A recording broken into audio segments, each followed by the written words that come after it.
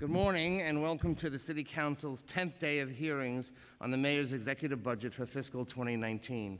My name is Daniel Dromm and I chair the Finance Committee. We are joined by the Committee on Education, chaired by my colleague, Councilmember Mark Treyger, and we have been joined by my colleagues, Councilmember Steve Matteo, Councilmember Adrienne Adams, and I think we will be joined by others later on. Uh, today we'll hear from the Department of Education and the School Construction Authority. Before we begin, I'd like to thank the Finance Division staff for putting this hearing together, including the Director, Latonya McKinney, Deputy Directors Regina Poreda Ryan and Nathan Toth, the, council, the Committee Counsel Rebecca Chasan, Unit Head Dohini Sompura, Finance Analyst Liz Hoffman and Caitlin O'Hagan, and uh, the Finance Division Administrative Support Unit, Nicole Anderson, Maria Pagan, and Roberta Caturano, who pull everything together. I'd also like to thank Evia Cardoso from my staff, who has been with me at all of the budget hearings. Thank you for your efforts as well. Um, I'd like to remind everyone that the public will be invited to testify on the last day of budget hearings on May 24th, beginning at approximately 4 p.m. in this room. For members of the public who wish to testify but cannot attend the hearing, you can email your testimony to the Finance Division at financetestimony at council.nyc.gov, and the staff will make it a part of the official record. I'd like to start by welcoming our new schools chancellor, Richard Carranza. Thank you for being here with us today. This is the first uh, council hearing at which the new chancellor is testifying, and we look forward to an open and productive relationship in discussing the DOE's budget programs and policies. Thank you also to the other representatives here to testify DOE Chief of Staff Ursulina Ramirez, DOE Chief Financial Officer Ray Orlando, and SCA President Lorraine Grillo. Today, we will examine the DOE's fiscal 2019 executive budget, which totals $25.5 billion in expense funding, not including pensions and debt service. This is 29% of the city's entire budget. This significant level of funding is what supports over 1.1 million students across 1,800 K-12 schools, as well as a robust pre-K program and a new but growing early childhood education program. However, we must ensure that our education dollars are being spent efficiently and effectively. The Council's budget response called on the administration to direct education dollars to schools by increasing Fair Student Funding, or FSF. And I really want to thank my co-chair for the hard work that he did all the way from Albany, starting in Albany, to actually working on it on the B&T with us, and then actually getting it happen to make it happen here at the at the at the city council level and the uh, with the administration. Uh, the funding will increase the FSF floor from 87% to 90% and increase the FSF average from 90% to 92.7%. As a result, over 850 schools currently receiving less than 90% of their F FSF allocation will see increased funding in fiscal 2019. While the Council applauds this investment in school budgets, there is more to be done. The Council's budget response called on the DOE to add a weight for students in temporary housing to the FSF formula so schools can appropriately support these students. The executive budget does not include $11.9 million for DOE students in shelter programs, but this program only reaches, oh, it does, excuse me, it does include 11.9 million for DOE students in shelter programs, but this program only reaches 100 schools. Moreover, as in the past years, this funding is not baselined is included in fiscal 2019 only. While we understand the need to evaluate and refine programming, it's baffling that moving into its third year, the administration is unwilling to baseline this funding. In addition, the Council's budget response called on the administration to phase in funding for FSF so that all schools would be receiving 100% of their FSF allocation by 2021. However, the funding added will only maintain the floor at 90% and the average at 92.7%. The administration has continuously said that they are waiting on the state to fulfill their campaign for fiscal equity or CFE obligation in order to increase FSF. The Council agrees that the state owes our students much more than they're getting and continues to advocate in Albany for this funding. However, the city cannot and should not wait on the state to adequately fund our schools. In that same vein, the city should more realistically project state education revenues. The executive budget continues to project 4.3% year-over-year growth in state education aid, even though this year DOE received 3.3% and last year DOE received only 2.4% in increases. The council wants to adopt a budget that realistically forecasts the state revenues and city spending. Today, we will examine the DOE's capital budget and capital commitment plan, as well as the February 2018 proposed amendment to the fiscal 2015 to 19 five-year capital plan, which includes $16.5 billion, which totals $16.5 billion. Before we begin, I'd like to remind my colleagues that the first round of questions for the uh, Department of Education will be limited to five minutes per council member. And if council members have additional questions, we will have a second round of questions at three minutes per council member. I will now turn the mic over to my co-chair, Councilmember Treyger, for his statement, and then we'll hear testimony from the Chancellor of the Department of Education, Richard Carranza. Thank you, uh, Chair Dromm, and thank you for your leadership. You, you have already made a significant impact in your role as Finance Chair. Good morning. I am Councilmember Mark Treyger and Chair of the Education Committee. Welcome to the fiscal 2019 executive budget hearing on the Department of Education and the School Construction Authority. I'd like to take a moment as well to personally welcome Chancellor uh, Richard Carranza.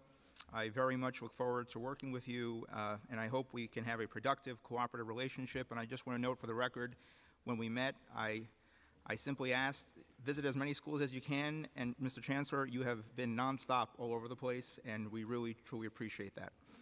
Um, the Department of Education's fiscal 2019 budget of $25.5 billion is $1.2 billion more than the fiscal 2018 adopted budget.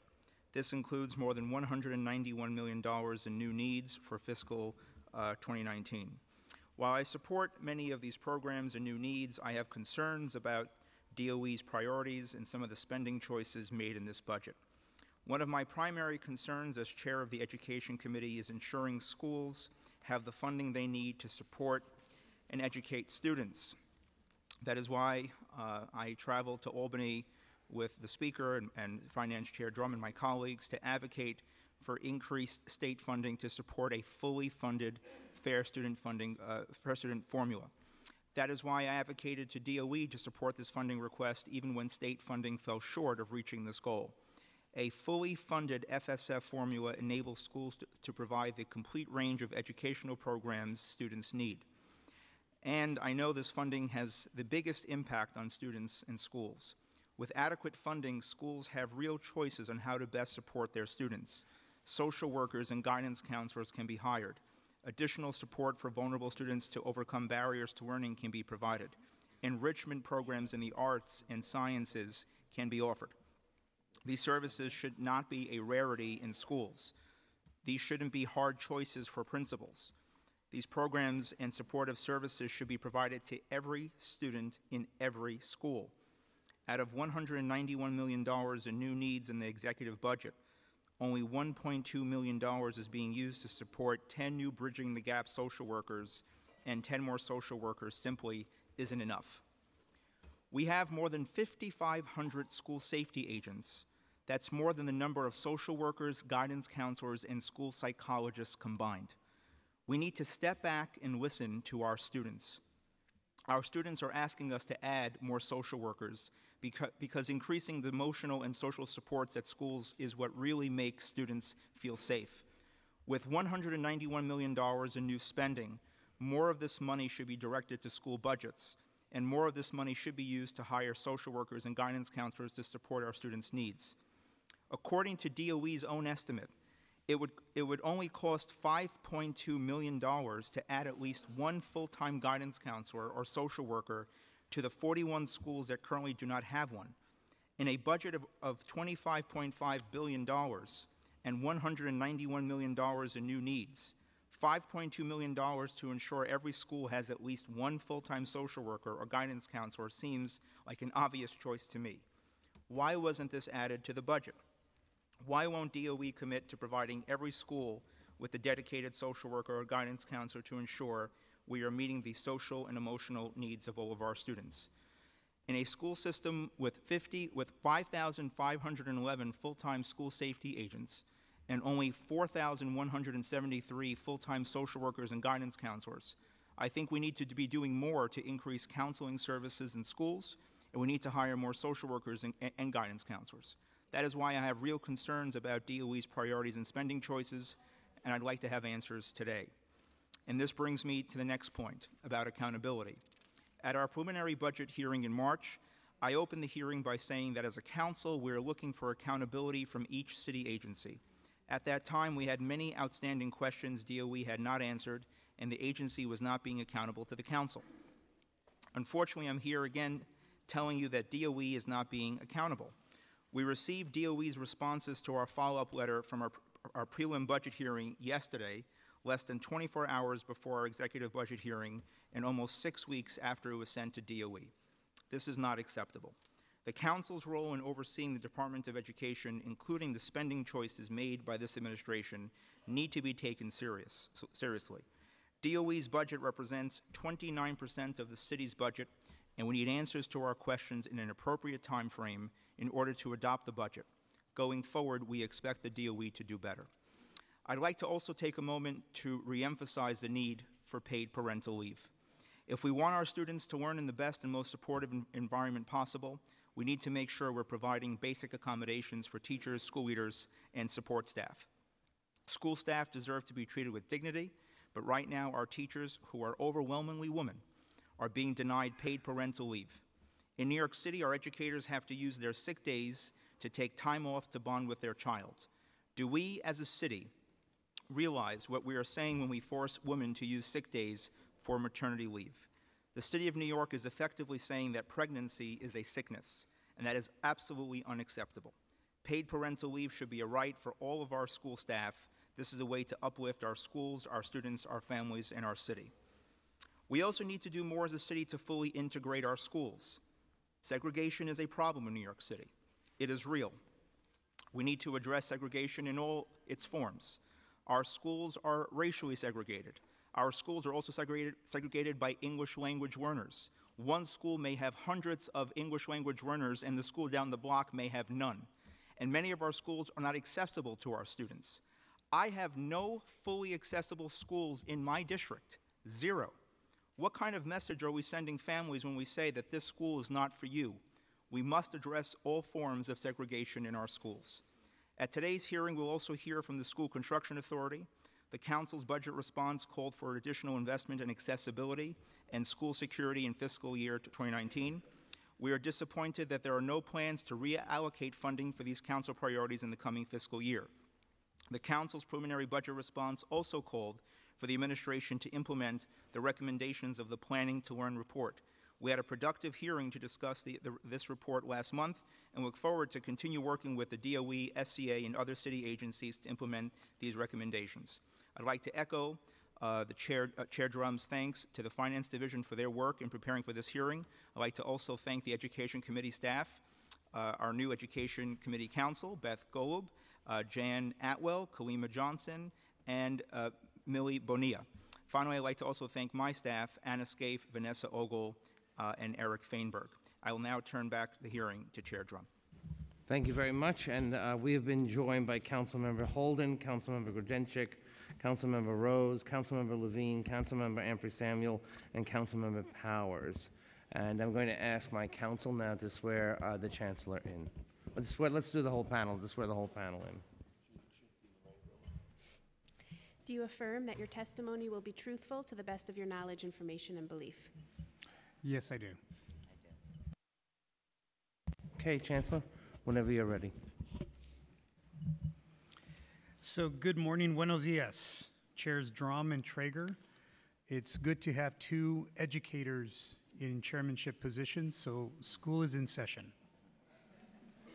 And I also want to welcome and thank all of the members of the Finance and Education Committee that are here today.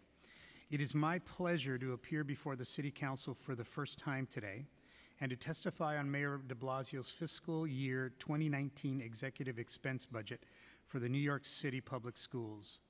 Joining me this morning are Ursulina Ramirez, DOE Chief Operating Officer, Ray Orlando, DOE Chief Financial Officer, and Lorraine Grillo, President and CEO of the New York City Construction Authority, who will also discuss the capital plan for our schools following my comments. I would like to begin by thanking Speaker Johnson, Chairs Dromm and Treyger, and all of the members of the City Council for your leadership, advocacy, and support of New York City's 1.1 million students and our school communities. I have had the opportunity to work in several urban school districts across the country and work with many elected officials in different municipalities. And New York City elected officials' knowledge and support of their schools is incredibly unique. I would say supremely unique. Just a few weeks ago, I was proud to stand with the mayor, Speaker Johnson, both chairs Dromm and Treyger, and many council members to announce the unprecedented $125 million increase to school budgets. I know that the DOE has had a long-standing partnership with the City Council, and I'm committed to continuing this collaboration with the City Council in the months and years ahead. Since this is my first time appearing before the council, I would like to tell you a little bit about myself, my career, and why I believe in the power of traditional public education. I am the son of a sheet metal worker and a hairdresser, and the grandson of Mexican immigrants. I grew up in a Spanish speaking home in Tucson, Arizona. Like so many New York students, my parents spoke another language at home, and I didn't learn English until I entered the public schools in Tucson in kindergarten. Although my parents never attended college, they knew that the path forward for my twin brother and I included an education, a strong education. They wanted more for their children, a pathway to college and career, like many New Yorkers I have met. My parents were right.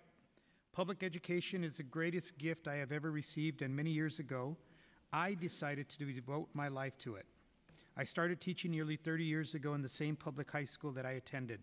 I began as a bilingual social studies and music teacher, and later became a high school principal in both Tucson and Las Vegas. I then went on to be a regional superintendent in Las Vegas and the superintendent of schools in San Francisco and most recently in Houston.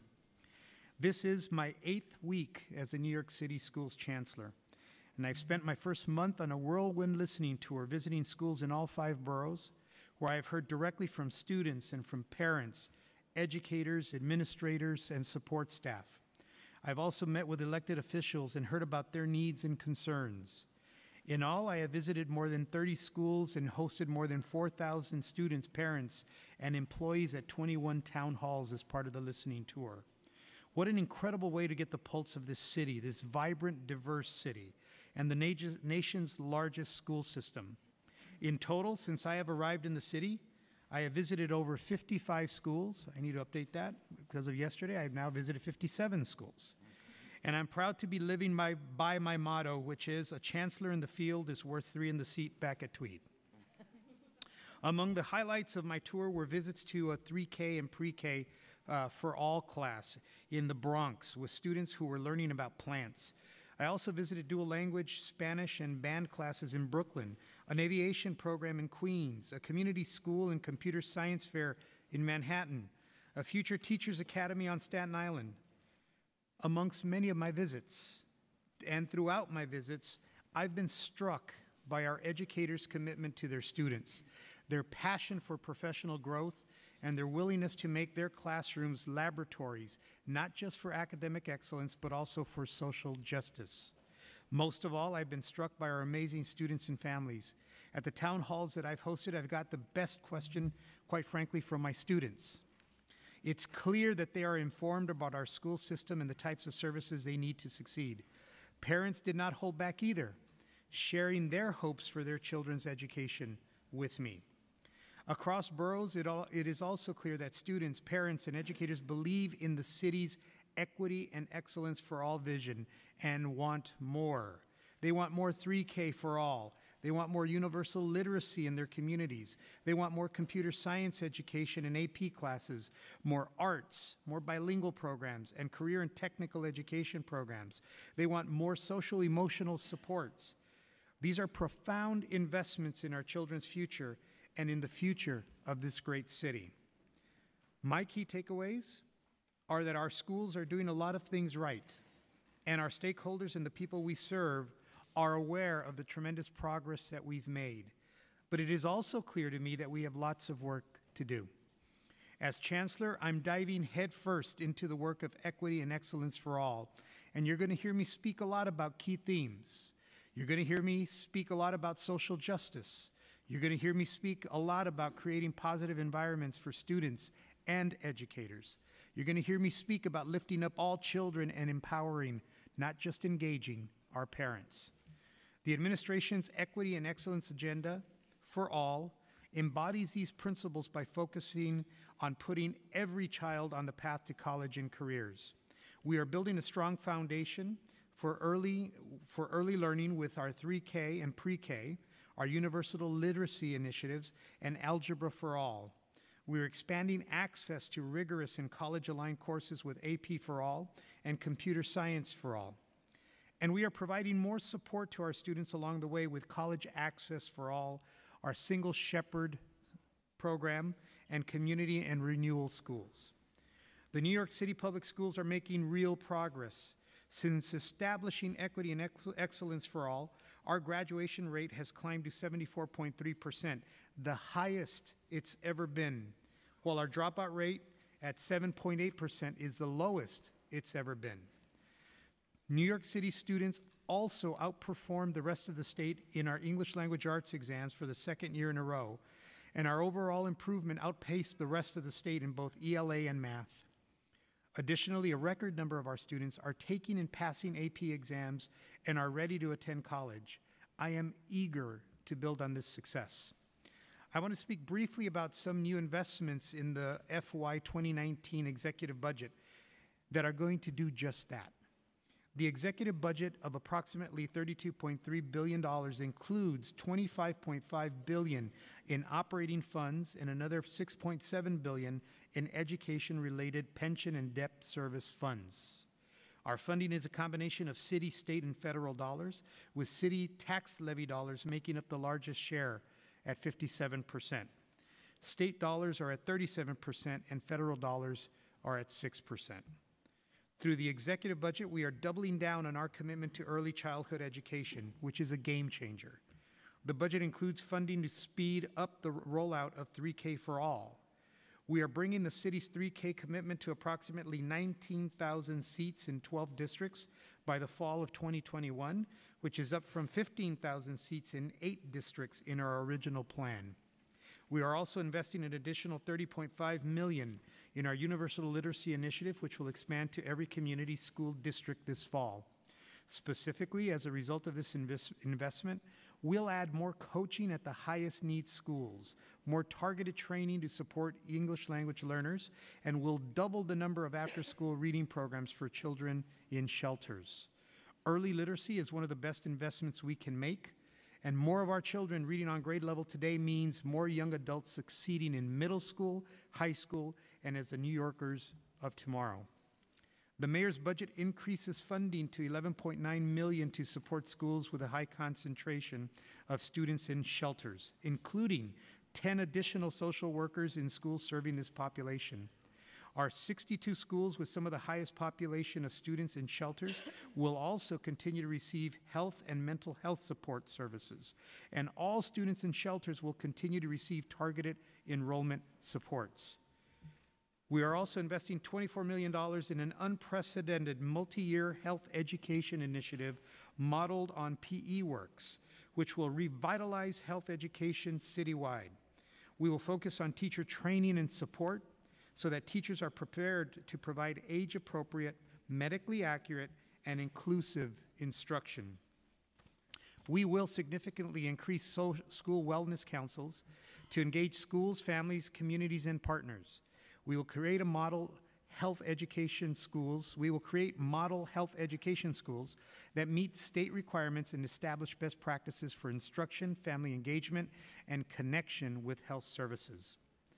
As a former social studies teacher and a social studies teacher at heart, I'm particularly excited that the budget includes funding for our new Civics for All initiative. Yesterday, in fact, we held our first ever citywide student voter registration day with the support of the council and other key partners.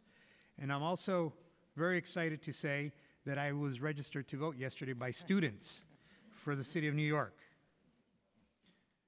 I have to add a little editorial. I've been asked, what did you register? What party did you register for? And again, I'm not going to publicly disclose that, but I will tell you my favorite color is blue.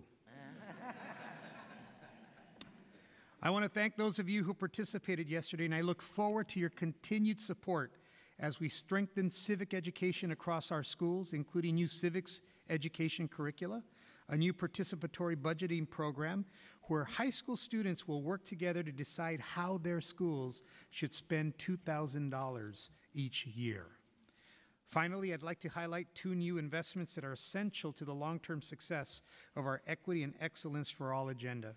The first is an investment in implicit bias training and culturally responsive training over the next four years. Culturally responsive training meets our students and families where they are and tailors the way we teach and serve our kids to their unique backgrounds and experiences that they bring into our classrooms. We know from experience that teacher training is one of the best investments we can make. If we can better tailor our teaching to the communities we serve, we can improve instruction and outcomes across the board in our city. This the second is a $125 million annual commitment to ensure that all schools receive at least 90% fair student funding beginning next school year. As a result, over 800 schools will see increased funding in 2019. More funding means more teachers, guidance counselors, and social workers in school. In fact, as I've talked to principals following this announcement, principals have talked about adding social workers and adding teacher positions and creating enrichment programs. As a Manhattan principal also succinctly said to me, when you're a principal, every dollar counts. Every one of these 20, $125 million counts for our kids, our families, and our schools. And I would again like to thank the City Council for your advocacy and for helping us make this a reality.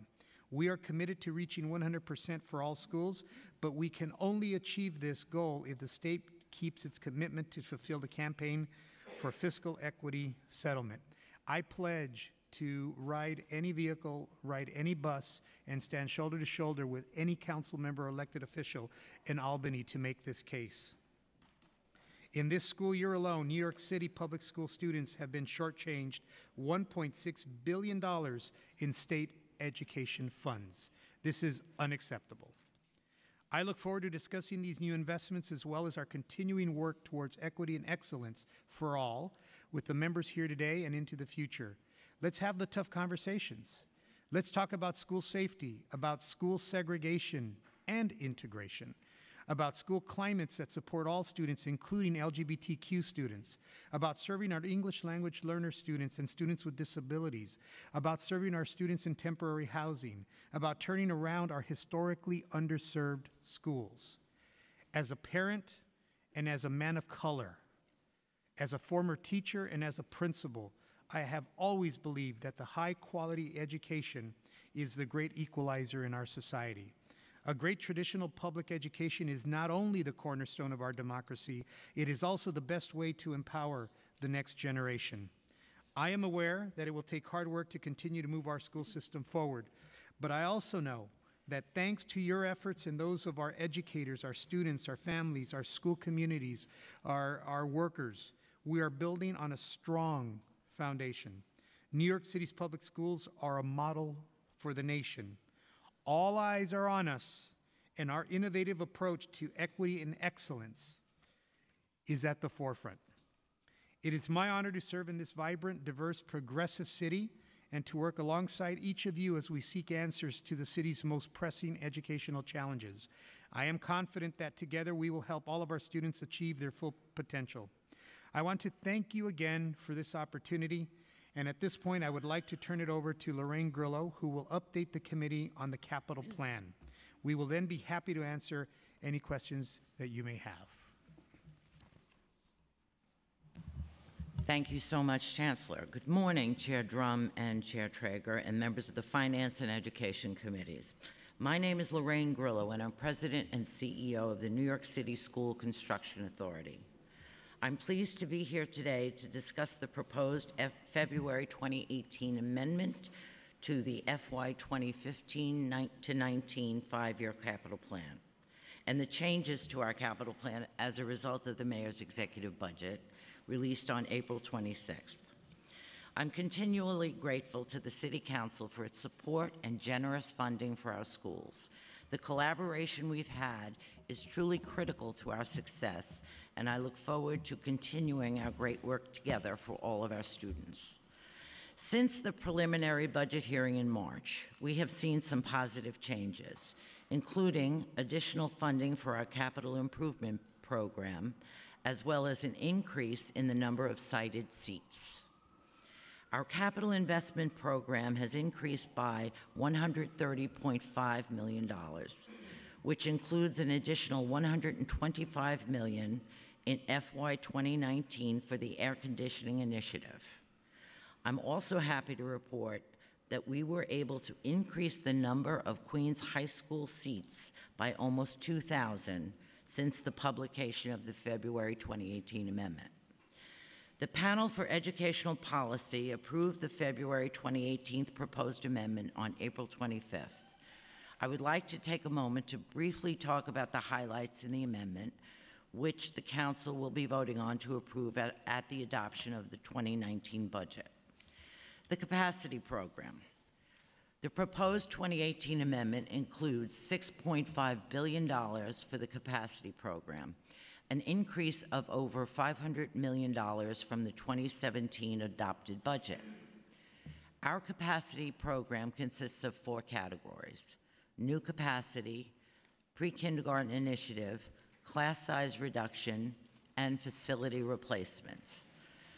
Of the 6.5 billion allocated to capacity, 4.8 billion is dedicated to creating more than 44,000 new seats through an estimated 88 projects within school districts experiencing the most critical existing and projected overcrowding. The amendment identifies the total need of approximately 83,000 seats. Since our February amendment, we have identified nearly 8,000 additional seats, which will bring us to nearly 40,000 total sited seats. Included in our capacity program is $872 million for the city's Pre-K for All initiative, an increase of approximately $70 million from the 2017 adopted budget, which will create almost 8,800 new seats across the city. In addition, $287 million has been allocated to the replacement program. This represents an increase of $145 million. Finally, $490 million is allocated in our class size reduction program to build additions or new buildings near schools that would significantly benefit from additional capacity. This program recognizes the need for targeted investments in areas of the city that may be geographically isolated and have unfunded seat needs. I'm happy to report we have moved into feasibility for three additional sites, one in District 27, one in District 29, and one in District 31. The plan amendment directs $6.7 billion for capital investment. Nearly 75%, or 4.1 billion, will address the buildings identified in our annual building survey as most in need of repairs, such as roof and structural work, safeguarding our buildings against water infiltration and other facility projects. The capital investment category also includes funding for upgrades to fire alarms, public address systems, and removal of transportable classroom units. More specifically, $395 million has been allocated to remove TCUs and redevelop the yard space where the TCUs had been located.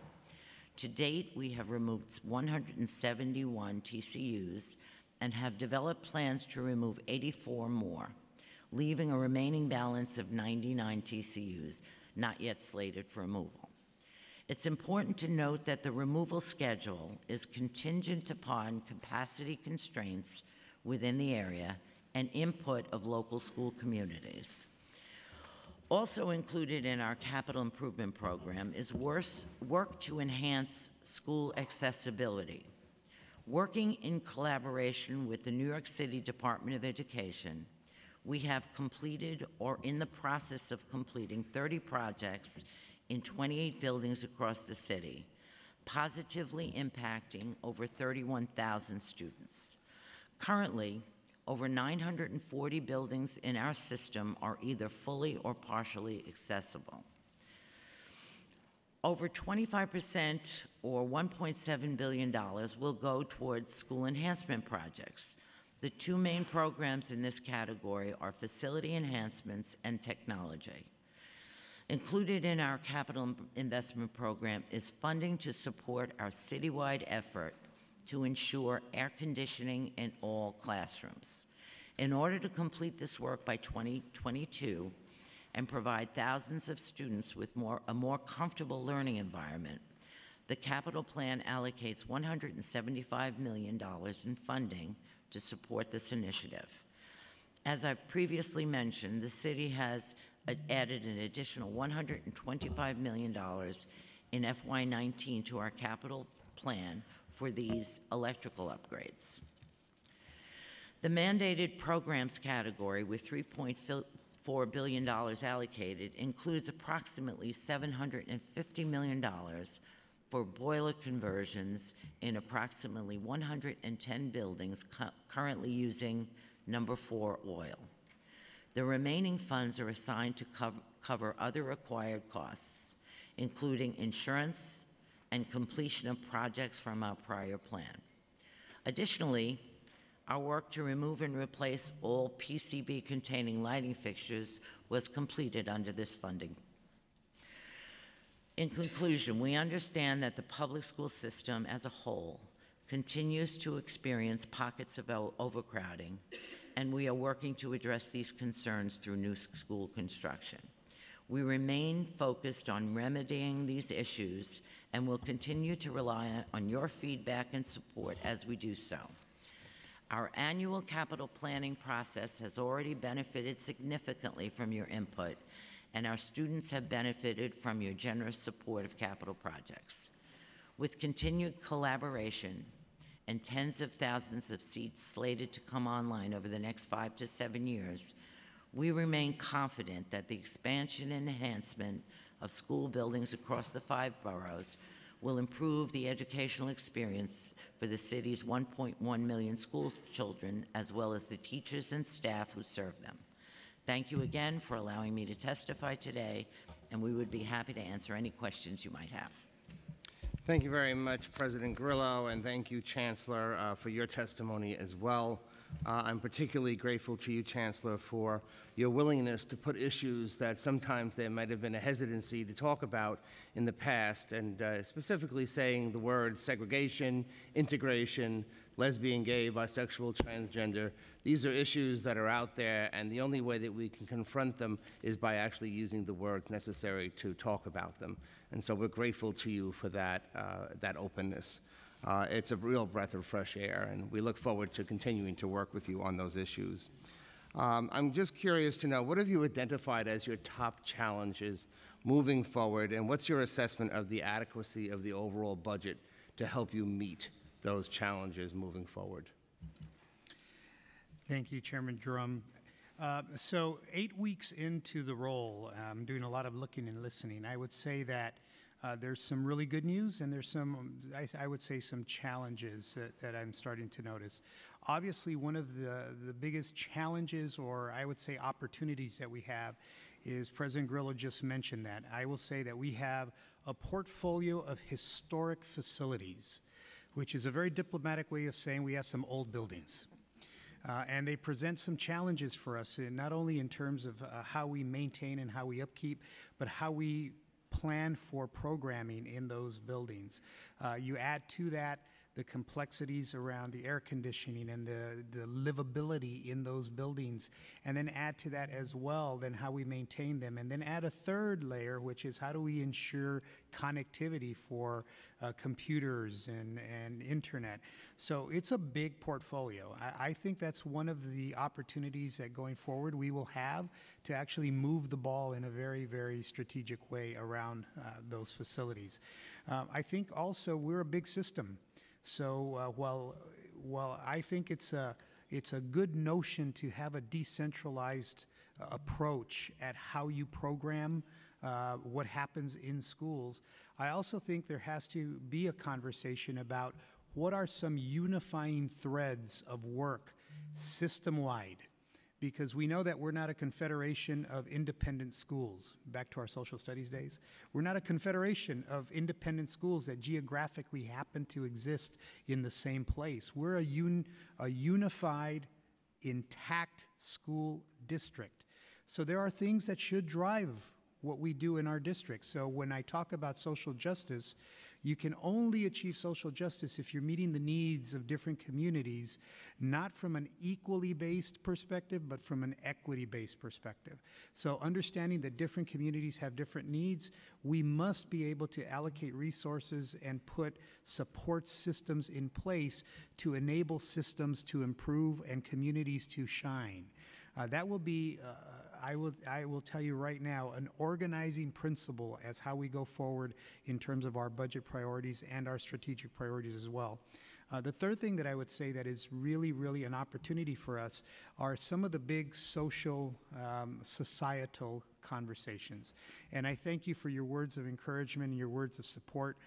I think that we have to be uh, in the city of New York, which is one of the most diverse cities, cities not in America, but the world, where we have uh, the diversity of uh, we we are America in just a few years from now. It's New York City. We have to talk about every single opportunity that students have to access our traditional public schools without barriers. That means it doesn't matter who you are, where you come from, we need to make those opportunities available to all of our students. And as I take a deep look at what we do, there are some perhaps uh, policies, there are some practices that we need to have a conversation. Are these truly giving all students the opportunity to access the wonderful public schools that we have uh, in New York City? That being said, I have to tell you, this is my fifth state now and the fifth school system that I've been able to uh, live and work in. I feel like I am a kid in Disneyland. Uh, there is no other municipality in this country that supports its traditional public schools like the city of New York does. The issue of investing in community schools, the issue of investing in implicit bias training, the investing in homeless students, as much more as we want to do, I will tell you there is no other large urban system that is investing in its students, its communities, and its children more than New York City.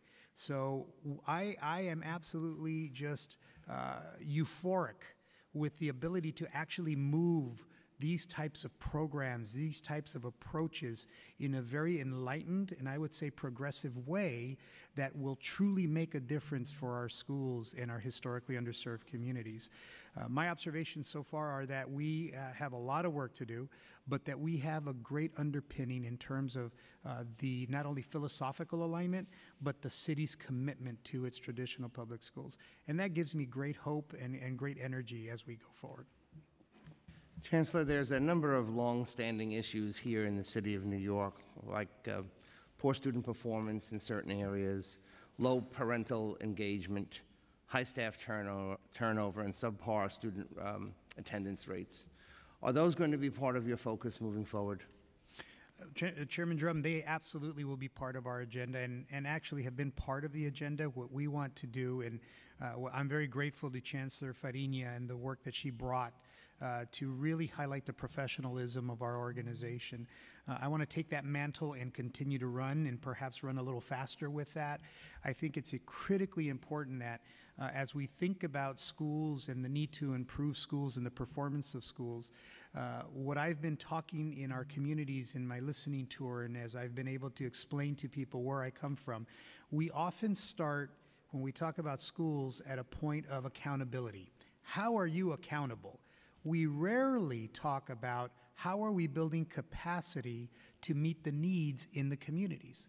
So for example, if you are working in a community that, and because you live in a large urban environment, uh, suffer from the ills of large urban cities. So it can be intergenerational poverty, it could be homelessness, it could be intergenerational incarceration, uh, food insecurity, you name it, the ills of society and you have a concentrated place where that is happening, you can't treat those schools equally. Everybody gets the same. By definition, you must treat them equitably.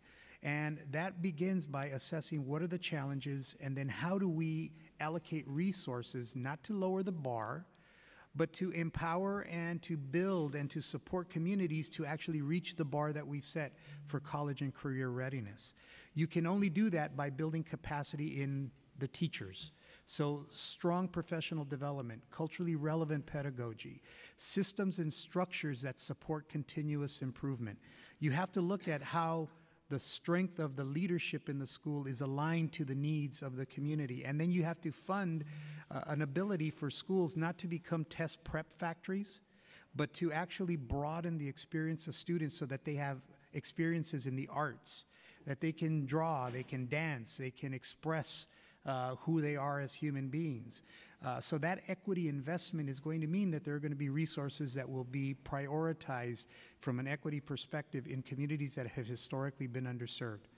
Now, I purposely use the term historically underserved because I refuse to use the term failing schools or schools that are underperforming because I have never, in my almost 30 years as an educator, ever met a community that consciously decides, I'm going to fail school, I'm going to fail students today.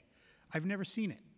What I have seen is underfunding of schools. What I have seen is our systems and structures that create dis- disincentives for students to attend those schools. What I have seen is policy that perhaps unintended consequences become that we disincentivize communities to go to their own local schools. So, as we look at our systems and our structures and our policies and how we fund our schools, the things that you have talked about, Chairman, are going to be first and foremost. How are we not only providing support for our students and communities, part of our community schools objective? How are we providing an early start for our students to have a great beginning for educating? That's our 3K pre K. How are we going to invest in students' understanding and parents empowered with knowledge to know how their children are going to go forward to a post secondary experience, whether that's career or college? That's our College for All initiative. And then, more importantly, how are we then going to provide tools for our educators, our principals, our support staff to meet the students and communities where they are? Our implicit bias training, our culturally relevant pedagogy training. And then, quite frankly, yours truly is going to be a loud, very upfront spokesperson for historically underserved communities, our LGBTQ community, the most endangered student group in any school district in America is our LGBTQ students. We have a responsibility to serve those students and provide them with the social emotional learning needs and the support systems to be successful. As a former English language learner student, yo también quiero asegurar que nuestros estudiantes aprendiendo inglés tienen sus apoyos. By the way, if you didn't speak Spanish, welcome to what it feels like to be an English language learner. Mm-hmm. You don't know the language, that's all. So I want to make sure that every student group and this organization is, is serving those student groups. So the very issues that you've identified, my experience has been that when you are very clear about the investment, you're very clear about the monitoring, you're very clear about the alignment of the system, that teacher retention goes up student achievement goes up, and not just measured by test scores, but by holistic measures, uh, and that communities actually revitalize around their schools. That's been my experience, uh, and I hope to work with my colleagues uh, in our system and with our elected officials to make that a reality in every community in the New York City Public Schools. I think, one of the- I think one of the hallmarks of Chancellor Farina was her emphasis on collaboration as well, and that particularly um, affects professional development. I know that as a teacher, I would be hesitant to um, collaborate or share ideas with teachers if I thought it was going to be a competitive environment. There'd be no incentive for me to want to do that, to give other ideas to teachers if it was in fact competitive. So I'm, I'm glad to hear a number of the programs that you're uh, talking about. Can you tell us how much will be spent this year on professional development? I, let me see if I can find that number. Uh, I know it's a significant investment, including the investments that uh, I've just spoken about in terms of culturally relevant pedagogy and implicit bias training.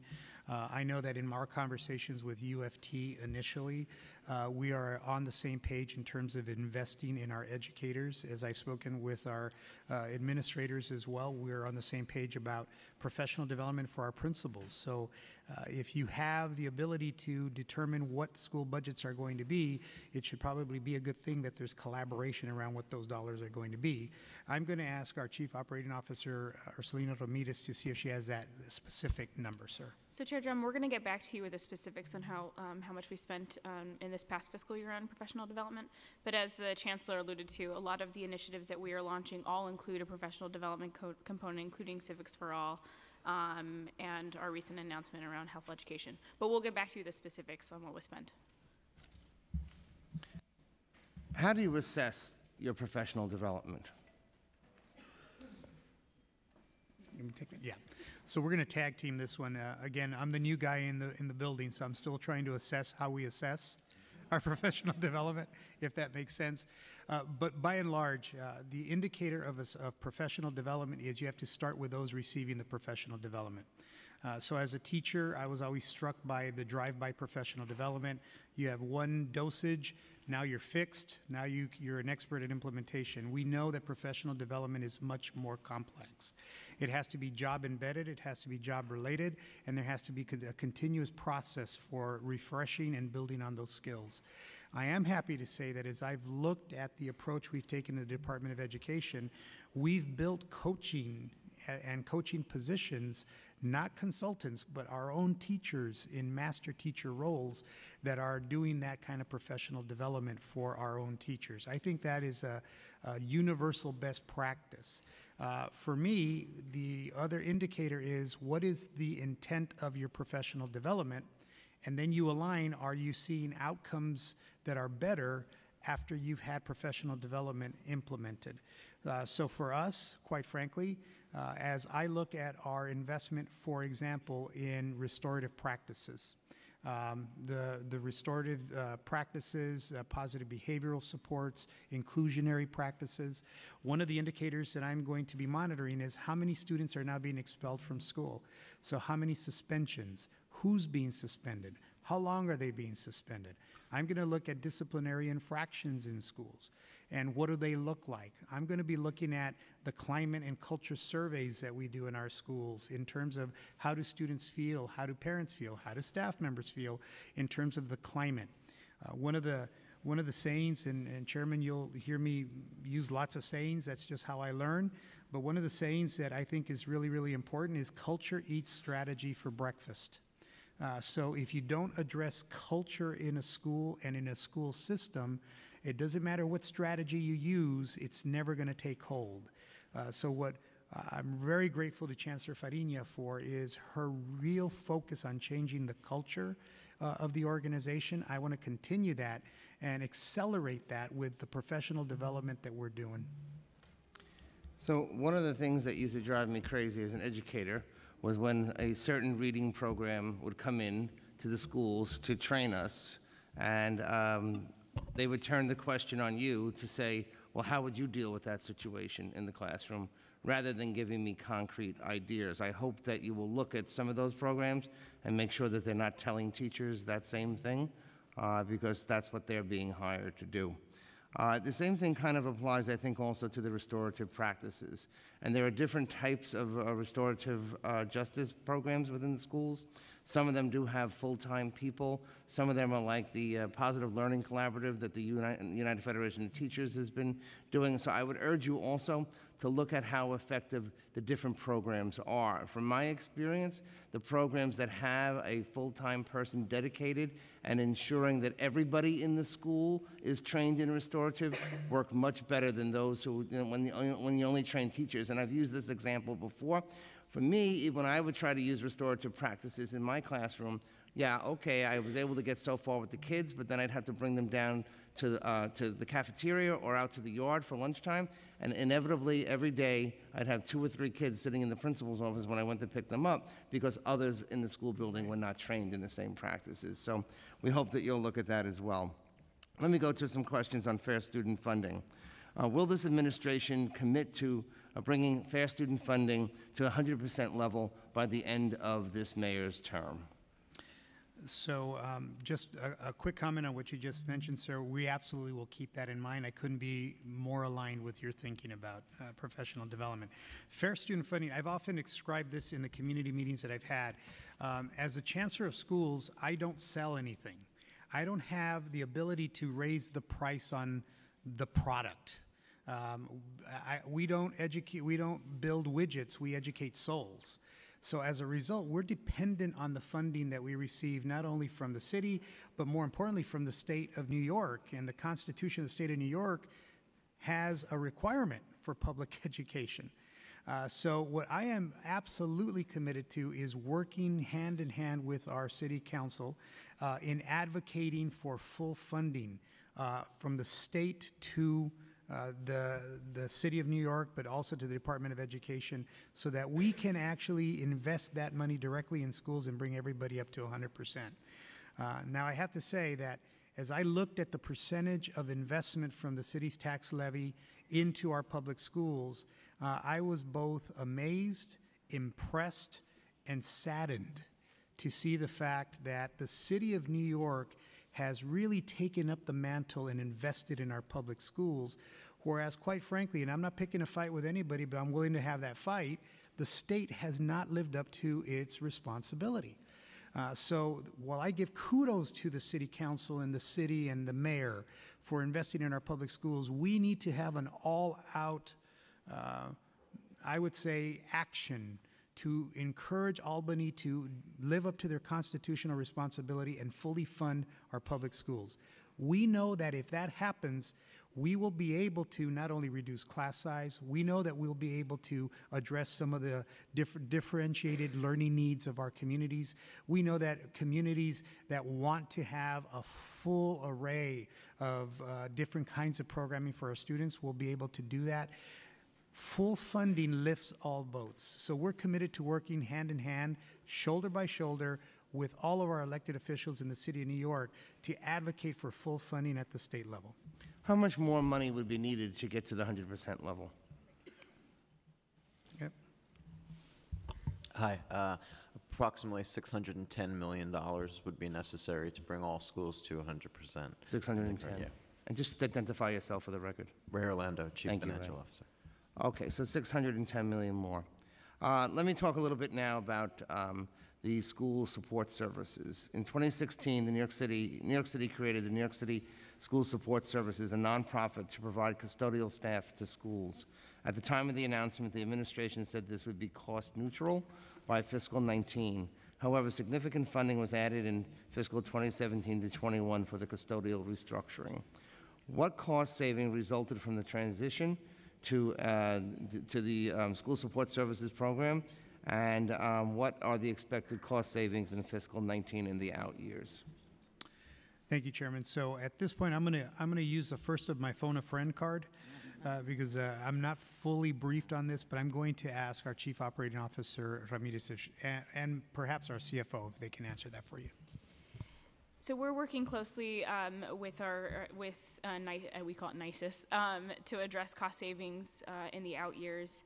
Um, But our primary goal is to make sure that all of our schools are clean and a safe place for our students to be. And so we're working closely with OMB to make sure that there's ample funding um, so that our, our schools stay clean and that our principals are satisfied with uh, the work that's happening in the buildings. So we know that there's 45 million included in the budget for the contract for, um, in fiscal 2020 to 2021. Some of the members of that union who are are workers in that, uh, in that um, program are here.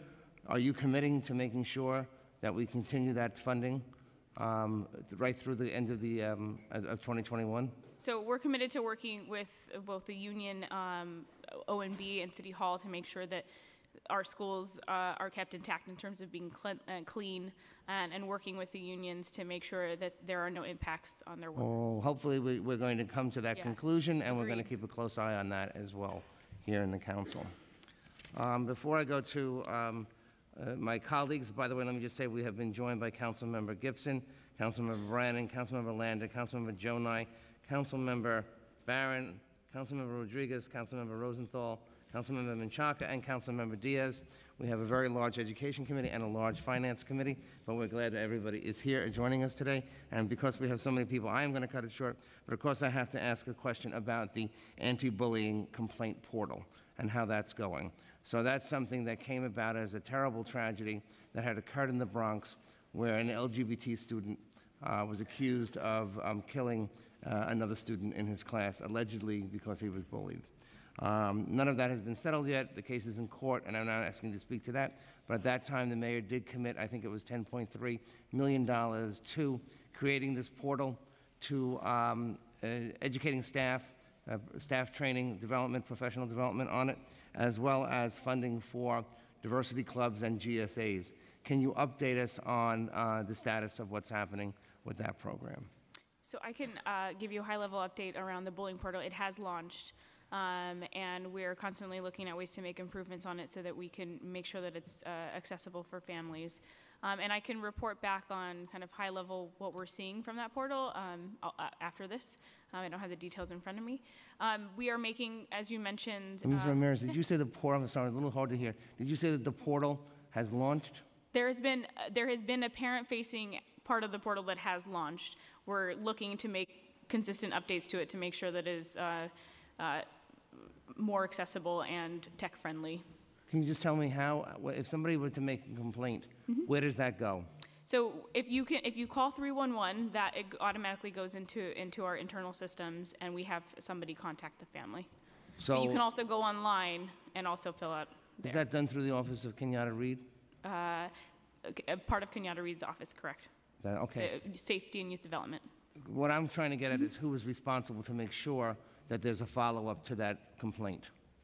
Um, so Kenyatta Reed's it- office is responsible for that. I will uh, circle back with who explicitly is responsible for getting back in touch with parents, but we do make sure that we are being responsive to families who are putting in uh, a complaint to that portal.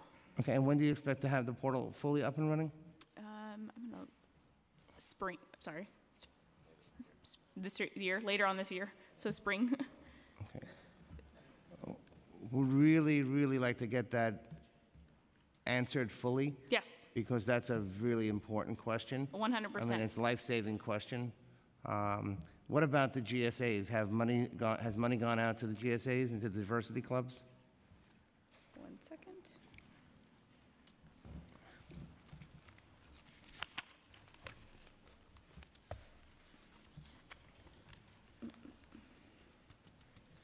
Yes, so we have made investments this year in our, in uh, GSAs in addition to other uh, student clubs.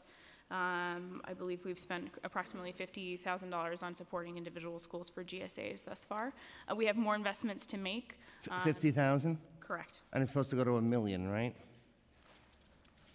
I have a, I have a half a million for all of our LGBT, but I'll circle back with you on. Well, on I thought it was a million dollars for support for diversity clubs. specific- Yes, it, it would, it's a million dollars that goes to all student clubs, including GSAs. Sorry. Oh, so that was 50,000 specifically for GSAs? That was fifty thousand that just has been allocated thus far. Oh. But I'll, I'll, I'll specify and circle back with you of whether that was for GSAs explicitly or if that was for all s- school clubs. So it is, it is a million, but um, Yep. when, when do you think that that money will be spent? Does that money have to be spent by June 30th? Do you want to answer? Uh, So there's funding in the current year uh, as well as out years for this, and uh, we'll know better uh, on how the, how much was spent uh, as the year ends uh, next month. Okay, and I see We can get back to you for sure. um, that a, with how it's um, a memo went out on um, how schools can apply for this funding recently, and I think the deadline is the 25th. Yes, Is that correct? I believe so. Correct. That is correct. Okay. And then what about the professional development? So the professional development is ongoing, and, you know, I, I do want to thank you for your initial investments that you've made um, in this work. Um, and as you know, both uh, Kimberly Shannon and uh, Jared Fox have been kind of doing a roadshow and making sure that we're providing professional development to a lot of schools. Um, but things are ongoing, and there and a lot. There's a lot of requests um, for PD in this area, um, and we're making sure that we're providing Jared ample support to, to do that. So I'm glad that you acknowledge that there are a lot of requests, and I think that Jared has been doing a fantastic job. Um, Maybe we need another Jared, and I think would really urge you to consider that, because uh, from what I understand, is that he's pretty much overwhelmed with requests. He is overwhelmed with requests, and he is trying to figure out how to prioritize, to, to the chancellor's point around equity, you know, what is the most need. Um, I think Jared is not replicable, but uh, trying to find somebody who can support him, I think, is, is the right idea. No, I agree. I just think that, um, you know, now that um, this issue is being discussed fully and it's a priority for the chancellor, that we should probably look at that because I think that um, teachers want this information and they need it desperately because they're dealing with this, with this issue more and more in the classrooms. Agreed. So we'll look into that and get back to you. Okay, thank you. I'm going to turn it over to Chair Treyger now. Thank you, uh, Chair Dromm. And I just want to, before I go into my questions, I just want to also thank the Chancellor for um, acknowledging the, the, the state of some, of many of our schools, for acknowledging that our, that there are quite a number of schools that have historically been underfunded, underserved, um, systematically, methodically, disproportionately affecting certain communities more than others. And I share that exact same sentiment, and I really appreciate that. No child, no staff member of a school, no teacher, no parent makes a conscious decision to underperform. And it's the government that has failed uh, too many communities. So I, I do want to begin by thanking you for, for, for that acknowledgement. Um, Mr. Chancellor, I, I shared some data before in my opening remarks. I just want to uh, re- repeat some of it. Um, according to DOE figures, there are uh, 1,293 social workers. There's 2,880 guidance counselors, 583 uh, school psychologists, and over 5,500 school safety officers. And just to note, uh, guidance counselors at the elementary school level are not mandated. In a school system of over 1.1 million children, do you believe that we are effectively meeting the social and emotional needs of our students? So Chairman Treyger, I think that we always can make more investments in that regard. Uh, Unfortunately, um, some of the legacy federal programs and um, rhetoric that has happened around public education has focused on accountability in terms of academics, and that's important. Uh, But uh, there is a growing body of research as well as a movement to recognize that not only is it important for students to be able to read and to write and do arithmetic and science, but it's also important for students to be well adjusted and well supported in an educational environment to be able to uh, engage in the academic, academic learning process. So, as all of us uh, across the nation are now realizing and revamping our systems to acknowledge that in terms of not only curriculum, but also professional development and staffing, uh, we are in the process of uh, aligning ourselves to that. So I- I, uh, am very much professionally uh, in support of increasing how we provide that support in terms of essential positions around guidance counseling, uh, in many of our schools, social workers that are necessary, uh, community school coordinators uh, as well. So that is a growing body of work that I'm very, very interested in supporting in our system. Right. As I shared with you, Mr. Chancellor, and at the, at the Fair Student Funding Press Conference, the- the chair and I witnessed the impact of a social worker in a school building, uh, creating a- feeling of, sa- of welcomeness and sanctuary and safety, and how that had a cascading effect on attendance and uh, academic outcomes. So I, I really believe that this is an area that we have to do better on. Um, according to, to uh, uh, an answer we received from the DOE, uh, we, we received this reply to a question about, uh, the question was, how many schools do not have a dedicated guidance counselor and/or social worker, and what is the cost of providing this in all schools? And this is the answer we received. 41 schools have no guidance counselor or social worker. The cost to provide at least one full-time guidance counselor or social worker to these schools would be approximately $5.2 million. So $5.2 million in a budget of over $25 billion. Mr. Chancellor, can you commit to making sure that every single school has at least one guidance counselor and social worker? Well, again, not knowing what those schools are, what the composition of those schools are, and again, being very clear that I think it's important that we have guidance counseling and that we have social workers. Um, I also think it's important, and, and our system has memorialized the notion that uh, there is local control. Student, pr- principals get to make decisions along with their staffs around what they want to prioritize in their funding. Uh, again, I'll go back to the plea that I've made and that this council has been very supportive of a, uh, fully funding the fair student funding formula. That, that would give everyone a level of funding that would ensure that there's resources to fund these types of essential positions. What I will commit to is that we will look at what those schools are and where they're where they're investing their resources and absolutely work towards making sure that all student uh, needs are being met in those schools. Right, and as we, as I also mentioned in my opening remarks, uh, there's only, I believe, a minimal increase to the amount of social supports for students in temporary housing.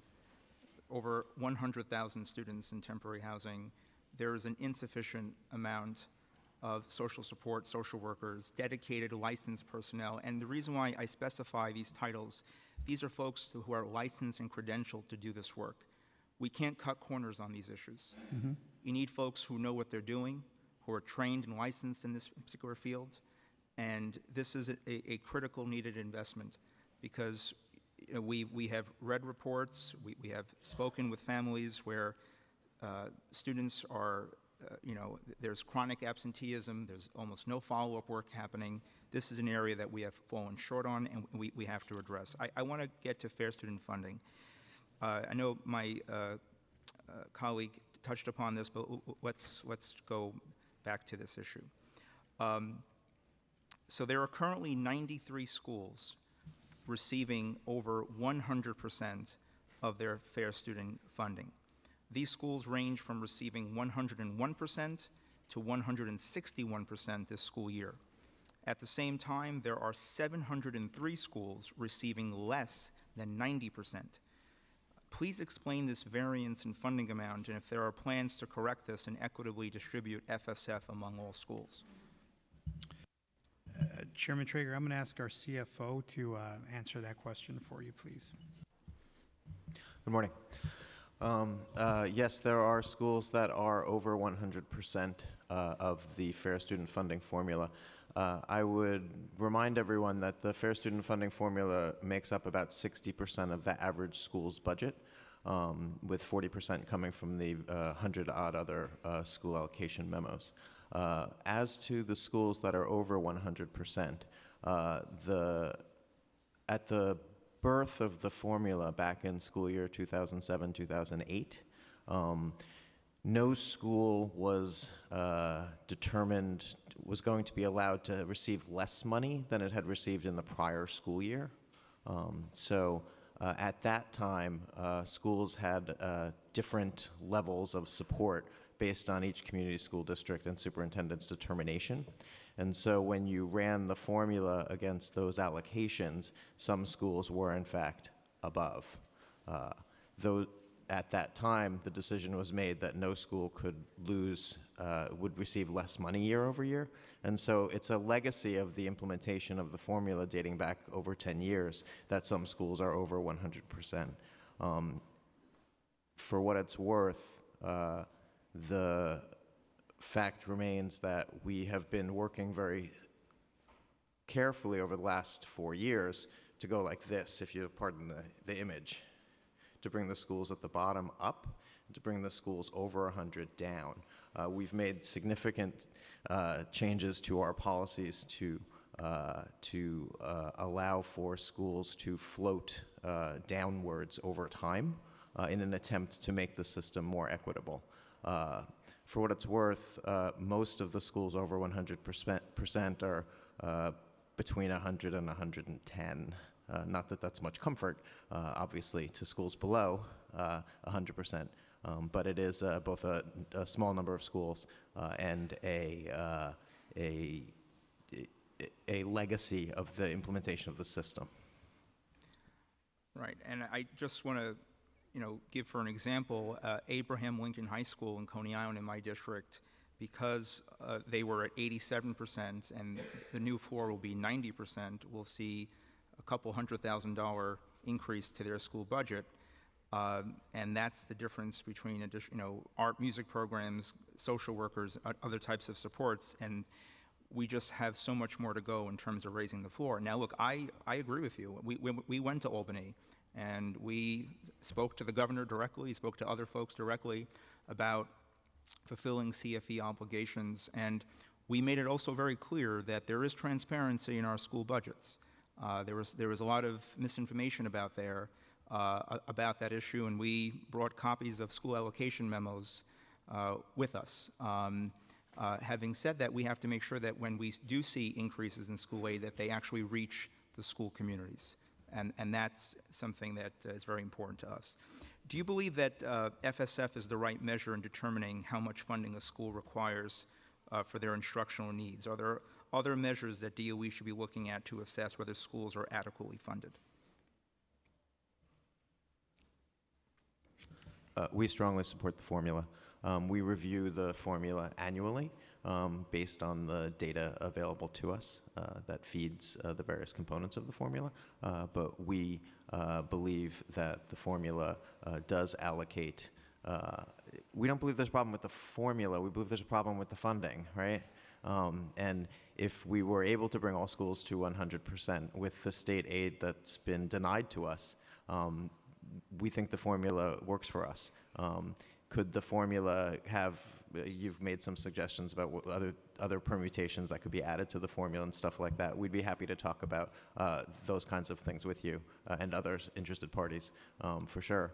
Uh, but uh, we, we we believe in the formula. Right. I, I just want to just reiterate that in examining the formula, um, I believe that poverty is accounted for up to the third grade, but the amount of funding that we have pegged for poverty, I think, is grossly insufficient. Uh, it is under $500 per student. I, I believe that, first of all, I think we need to understand that poverty exists beyond the third grade as well. Uh, and I do not believe that test scores are an effective proxy beyond the third grade to deal with issues of poverty. Um, and we do need to increase that amount. Uh, do we agree on that? Uh, I could agree with you that the formula could encompass other types of weights, and we'd be happy to discuss what those weights might look like and how much they might cost uh, whenever you like. The executive budget baselines $20 million in OTPS savings at DOE from unspent funds in school budgets.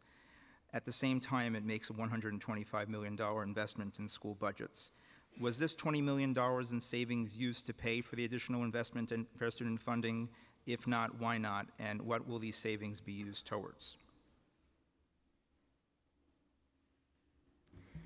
uh, as part of our ongoing work with uh, the Office of Management and Budget uh, and City Hall and you all, uh, we're constantly looking at our budget uh, to identify uh, policies and programs um, uh, to meet the needs of students. Uh, this particular reduction uh, is related to uh, the fact that uh, it's very difficult to manage your budget to zero, as I think we all know.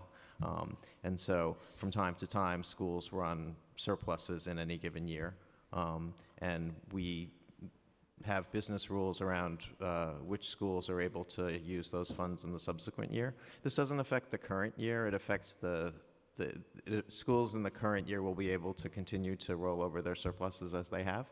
Um, and in the next year, um, we're going to look at the business rules around that. And uh, if we can find a better way to save that $20 million, we will. I, I, I will uh, take you up on your offer, Mr. Chancellor, to, we'll go up to Albany together, we'll advocate as much as we can to make the case. We just need to be clear when we go to Albany and others where this funding actually goes towards. But this is an area that we do agree, that Albany needs to fund New York City schools, both the historic cost and, and the current cost. Um, I want to uh, discuss paid parental leave. Um, how much would it cost to provide paid parental leave to all DOE staff?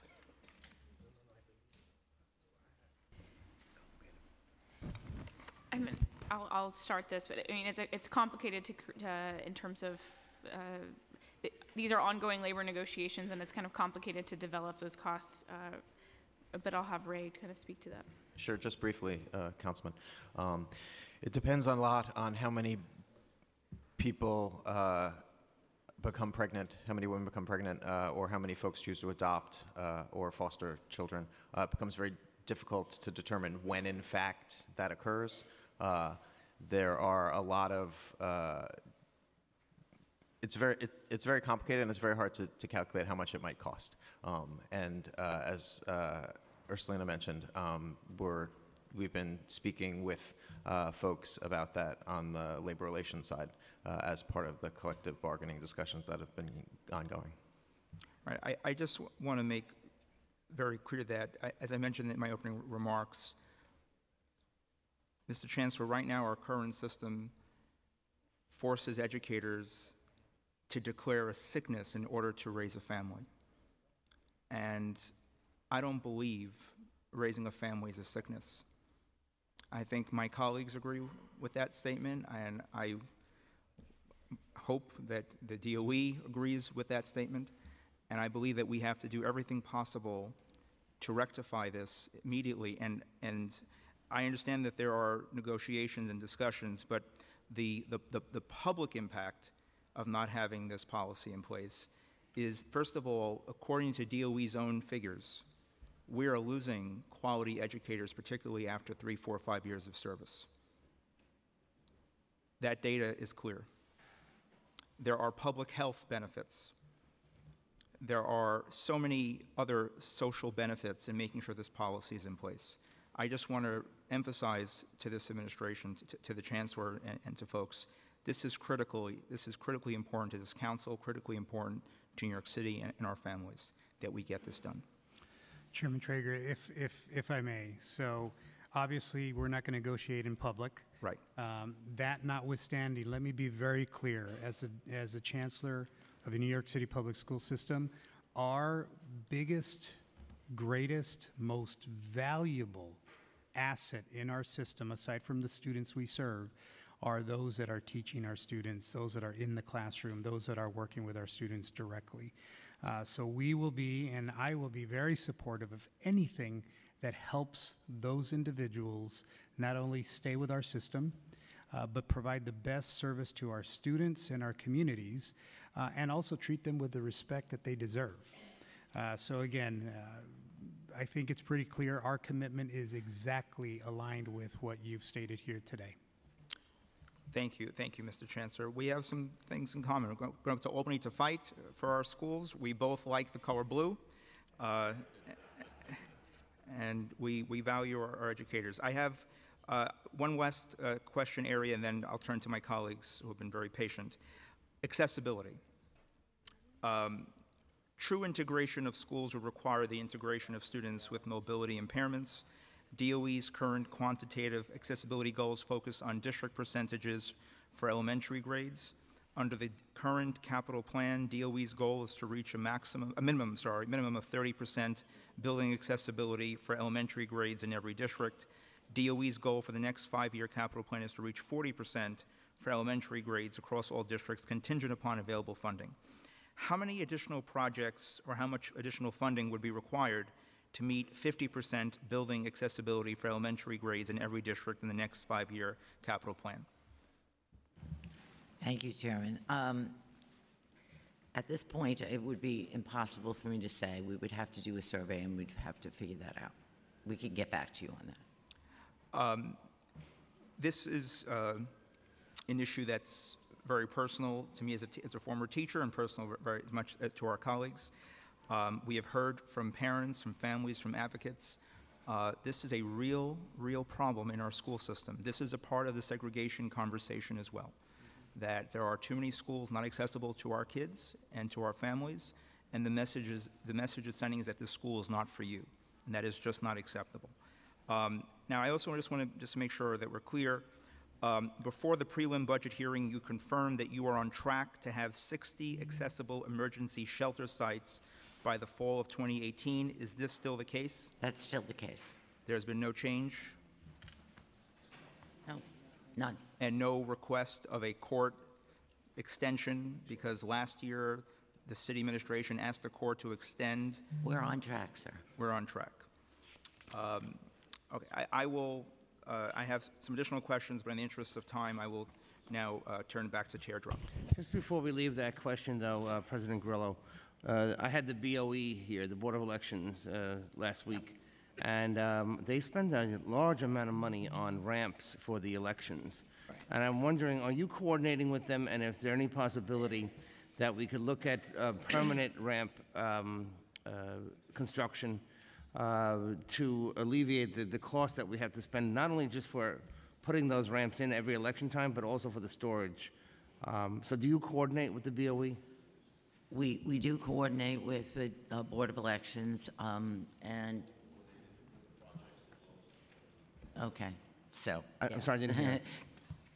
This is uh, Tom Taratko. He is uh, in charge of space management, um, and really is managing for the DOE, the accessibility program. So he's best to answer that question. So we, so that's, that is part of the, con- that is a conversation that's ongoing in terms of uh, making the schools more accessible? Absolutely, absolutely, and we coordinate with uh, Board of Elections constantly. Will we see in the future some reduction in terms of the number of ramps that the BOE needs to install? As we continue to make these buildings accessible, I'm sure that's, that'll be the case. Okay, all right, thank you. Oh, one last question, if I can, with Chair prerogative here. In your testimony, um, President Grillo, you mentioned that there were 8,000 new seats, additional seats. Where would those seats be? Throughout the, throughout the city, in those uh, overcrowded districts, and you will see that in the capital plan. Okay, and um, it's, that's about eight schools maybe, right? Um, Eight to 10 schools, Eight to depending 10 upon the grade levels. Okay. All right, thank you. Uh, We have been joined by Councilmember Borelli, Councilmember Levin, Councilmember Kallos, Councilmember Salamanca, and now we're going to go to questions from council members. We'll start with Councilmember Grodenchik, followed by Adams, Holden, and Rose. Thank you, uh, Mr. Chair. Good morning, uh, Chancellor. Good morning, Lorraine. I was worried that we were going to ignore you totally. I was just sitting there and figuring you might not. So I want to say, before I get into the Chancellor, I want to thank you, uh, Ms. Grillo, for, uh, for your collaboration in Eastern Queens, and I look forward to building those and more. I have more sites, so I promise you. Mr. Chancellor, I think it's the fourth time I've seen you, which is uh, pretty good for a guy from Eastern Queens. I don't, we, we, we it's where the, uh, where the prairie meets the city. Um, I do want to talk about what Chair Treyger talked about, and that is fair student funding. And um, Mr. Orlando said that it only makes up 60%. So that's disappointing, but uh, it's also encouraging at the same time uh, because it means more money is going into the classrooms. I know you've only been here eight weeks and you've had a whirlwind, but I can't stress strongly enough how important it is to get more money into the hands of the educators, taking it out of the hands of the bureaucrats, because uh, principal after principal that I speak to, and I meet with all of them during the school year, um, some of them many times, um, relate to me how, as Chair Treyger said, how they could do more, whether, whatever they want to do. I'm not, I'm not picking on whether it's guidance counselors or more powers or more teachers, but it's so important that we get more money into the hands of the principals and the, the leadership teams in the schools. Um, you know, some of my schools, I was trying to figure out, I have three of my schools here, they're fair student funding formulas. I counted 33 separate lines, and I was being generous. It may be more.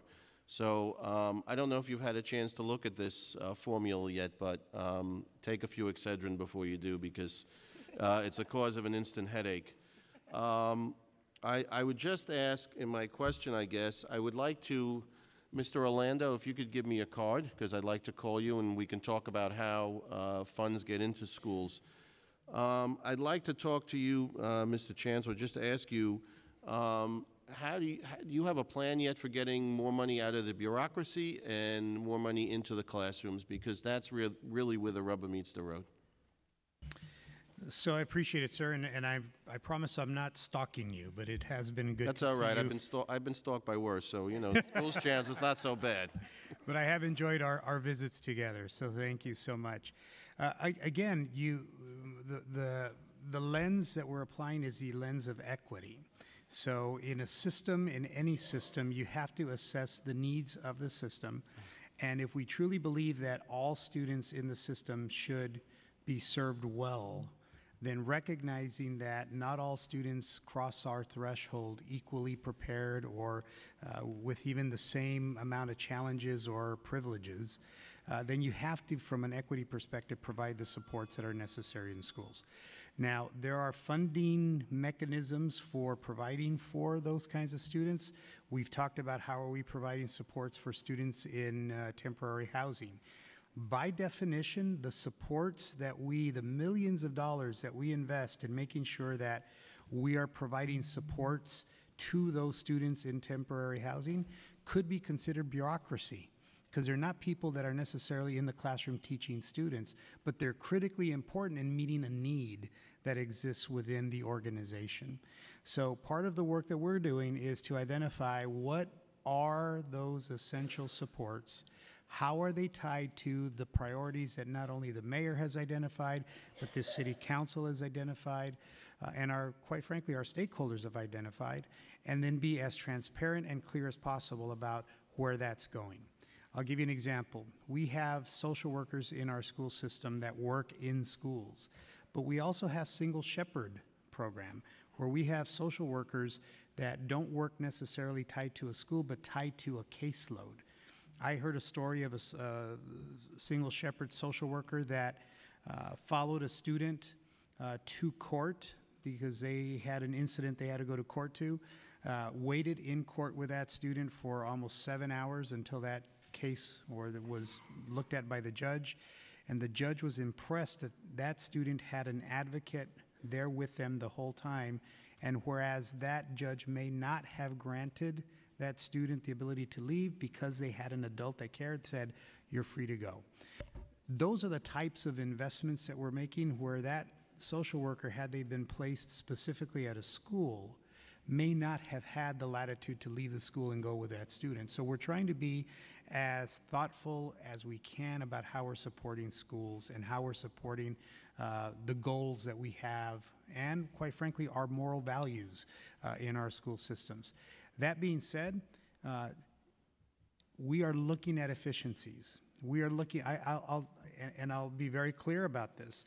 As I've looked at how we, for example, a central part of what we do in our school system is how do we teach reading in our school system?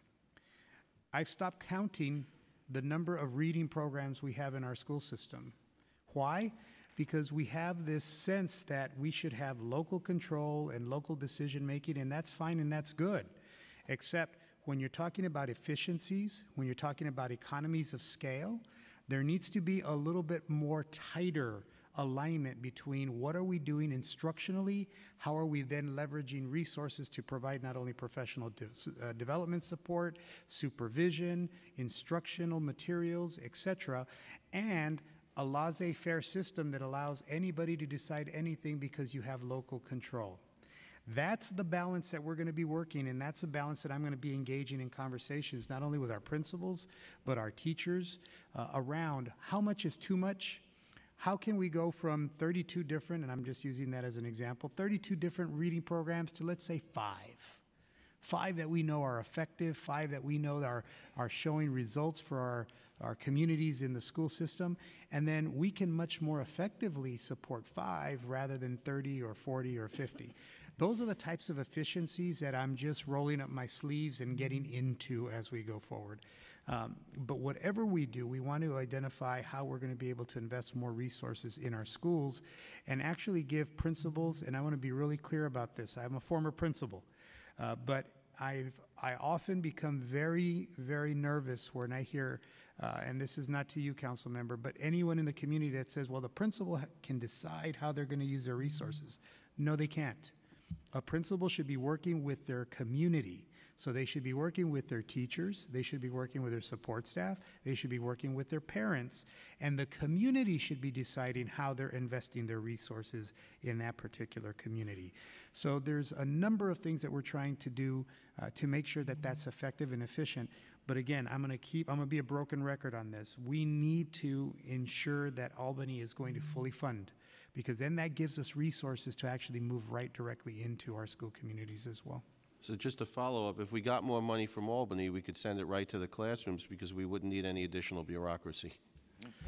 Well, it depends what you mean by bureaucracy. I mean, Well, listen, I, I have bureaucracy in my house. I have to pay for the, the- you know, I got to pay Con Ed, I got to pay National Grid, but I don't want to give them one penny more than they deserve. So that's where I'm at, and, and. I agree. And I, I appreciate you, and I appreciate uh, your willingness to take on this very, very difficult task. Thank you, Mr. Chairman. Thank you. Councilmember Adams.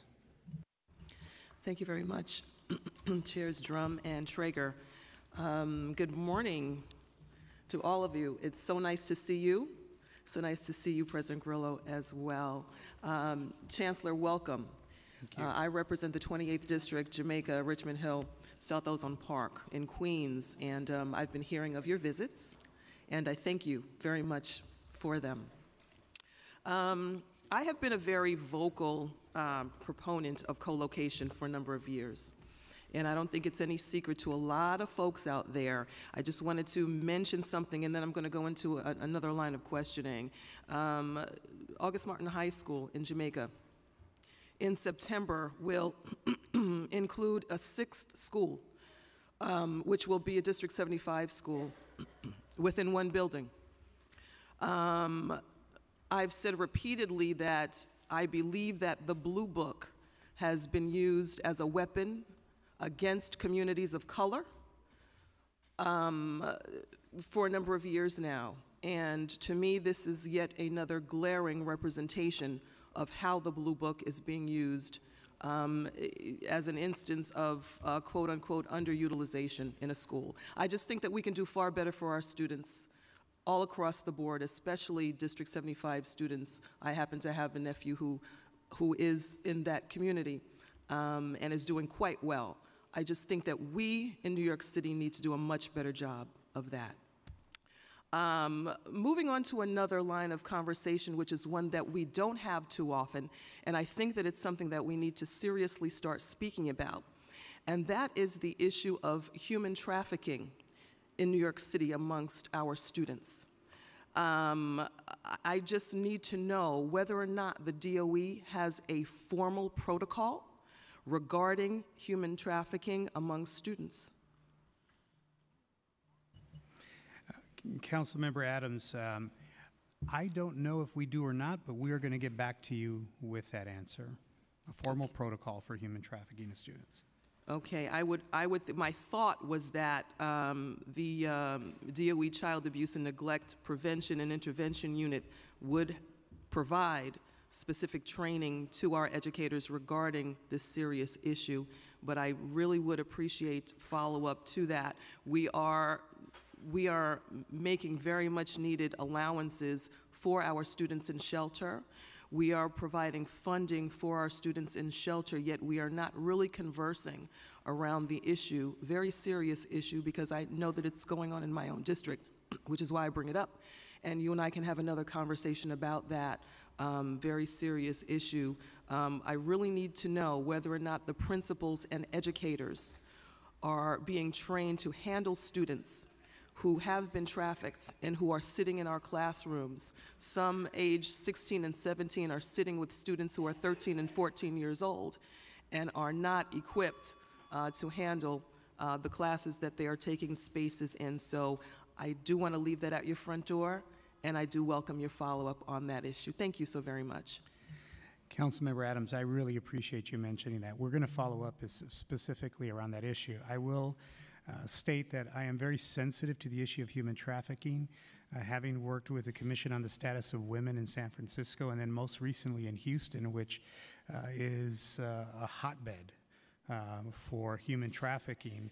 Uh, this is an issue that is very dear to my heart uh, because uh, our vulnerable students become prey. Uh, and so I am very sensitive to this issue, and thank you for bringing it up. We will get back to you, but more importantly, I want to know for my edification what are our protocols and how are we training folks. So thank you for bringing that. Thank you very much, Mr. Chancellor. Uh, Thank you very much. And uh, Councilmember Holden, and then Rose. Uh, We've been joined also by Council Members Cohen and Ulrich. Uh, Thank you, Chancellor and uh, President Grillo. Um, I just want to mention, I represent District 24, which is the most overcrowded. We need something like 5,000 se- new seats, which are unfunded as of now, and we have a crisis situation, certainly in the district, and uh, looking forward to working with Lorraine Grillo on this. Um, But we- we're in, a- we're in dire straits. And then we have uh, upzoning of Queens Boulevard going on with thousands of more apartments coming in. So we need, um, we need a task force in our area. But I, I want to talk about um, something that's near and dear to me. I visited a school, uh, District 75. I want to piggyback on, on District 75 students who are the most neediest, obviously. And we have a situation, and I visited uh, the headquarters in Queens, uh, District 75, at least my part of Queens, PS 9, which is a building built in 1905 for all boys. It's now obviously um, boys and girls in there. Um, one bathroom per floor, which is, and the boys have to wait for the girls to get out, and the girls have out, vice versa. We have changing um, tables in front of urinals in there. We have a most disgraceful situation. I want to I want to praise Chair Treyger for coming out and spending a couple hours visiting last week, and he saw for himself. And I also want to thank Chair Dromm for supporting the school, putting money toward uh, the auditorium. But this is a situation where we need immediate attention. There's the bathroom facilities are inadequate, obviously. There's no real gymnasium. There's no real cafeteria. Um, and many of these children with autism, Down syndrome, and many of the students are from homeless shelters, special needs students, obviously, and foster children. They have, some, they have the challenges when they go home. When they go to school, they should have a bright, nice building. This is more than just an old building. This is totally ridiculous. It's actually something from medieval times almost. And, and, it's, and to make matters worse, Chancellor, this is in a heavily industrial area. They're hiding these kids, and it's sickening. Previous administrations have neglected the, this population, and this is the poster child. This PS9 is the poster child of neglect. So I'd, I'd like your attention on this. I'd like to bring you out there. Um, I'd like you to see for yourself what we're doing, and this has to be put aside. This should be the last semester that these students have to tolerate this situation. So, Councilmember, thank you for uh, mentioning this particular issue. Uh, It is unacceptable that any student, regardless of their needs, any student would be in an environment that is substandard. So this is a particular concern to me. Uh, Staff brought this to my attention, and I invite in the future, please feel free to bring it to my attention directly as well. Uh, But staff brought this to my attention. Uh, We immediately uh, have asked people to come out. I know that President Grillo herself has gone out to visit, so I'd like to ask her if she can update you on where we are and what the status is. Sure. Um, Thank you, council member. Uh, You and I have spoken about this. I've also spoken with Chair Treyger about this. We recognize the, the challenges of this building. Right now, we're in the process of uh, evaluating next steps and um, evaluating the building overall. Um, in the meantime, as a result of some of the conversations we've had, um, we have halted the elevator project right now, and we're going to reevaluate that. The other thing is, um, at the request of the, the chairman, we've uh, taken some air quality testing. We've done that in the building. And just so everyone knows, I received the results this morning. The building is safe for occupancy. I can share that with you. But we take this very, very seriously. I've been meeting with the chancellor's staff as well as um, internally at the SCA to see what, what next steps can, can be. And, and I'm really supporting um, Councilmember Holden in this effort. I mean, I, I have given money. To Sandy Kroshek, who's uh, one of the instructional people there, is fantastic, and she's really fighting for that school. Uh, I have not had the opportunity to visit it, but from what, what uh, Councilmember Holden has described, it really, really needs our attention quickly. So, um, let me let me also take another uh, chair prerogative question here for um, uh, President Grillo. In your testimony, you stated that um, you were able to increase the number of Queens High School seats by 2,000 since the publication of the February amendment. Are these 2,000 seats in addition to the 3,595 seats uh, funded in the um, uh, February amendment? No, no, w- what we were talking about, we were able to increase the number sited seats. by Okay, 2,000. so, um, all right, that's what we wanted to know. That's what we wanted to know, if those were sited. And the same thing for the other 8,000, right? Those was, you were able to site those? Correct. Right, okay, good. All right, so we're going to go now to Councilmember Rose, followed by Powers, and then Gibson and Lander. Thank you, Chair. And it's good to see you again. Um, I'm always impressed when people find their way to Staten Island, um, the other borough, and uh, it's uh, it's one of five. But uh, anyway, um, I I, I want to thank you, you know, for um, for your visit.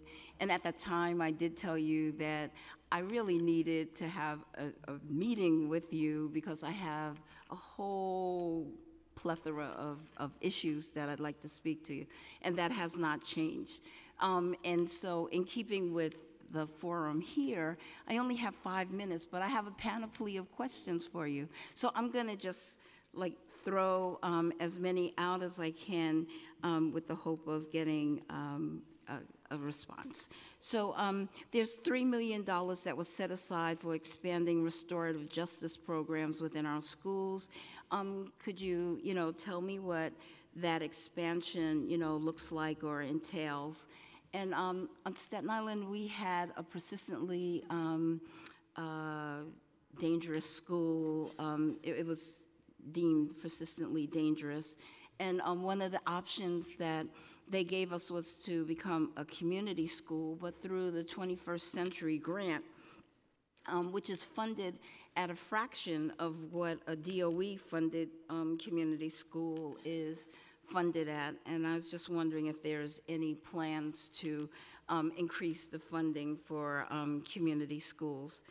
Um, uh, for President Grillo, uh, you said in your statement that um, that you had moved into the feasibility of three additional sites, um, one of which was District 31. I was hope that you could elaborate on that.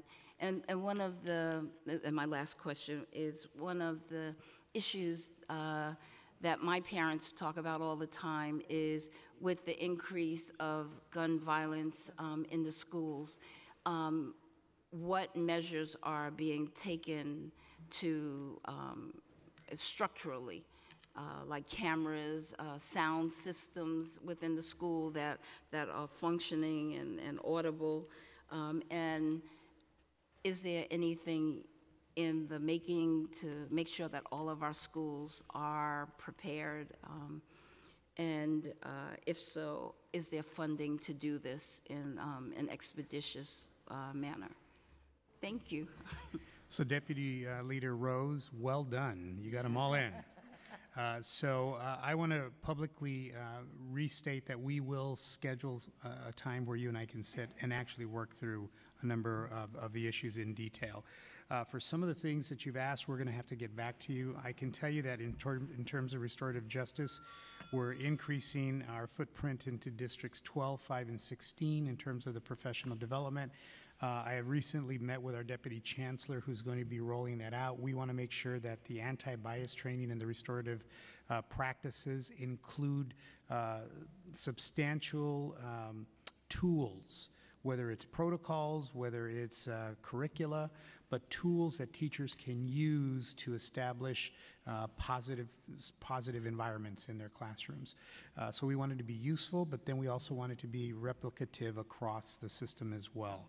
Chancellor, would you consider social workers a part of those tools that would be um, useful in restorative justice? I wouldn't consider the social workers to be part of restorative practices. I would consider them to be uh, additional supports.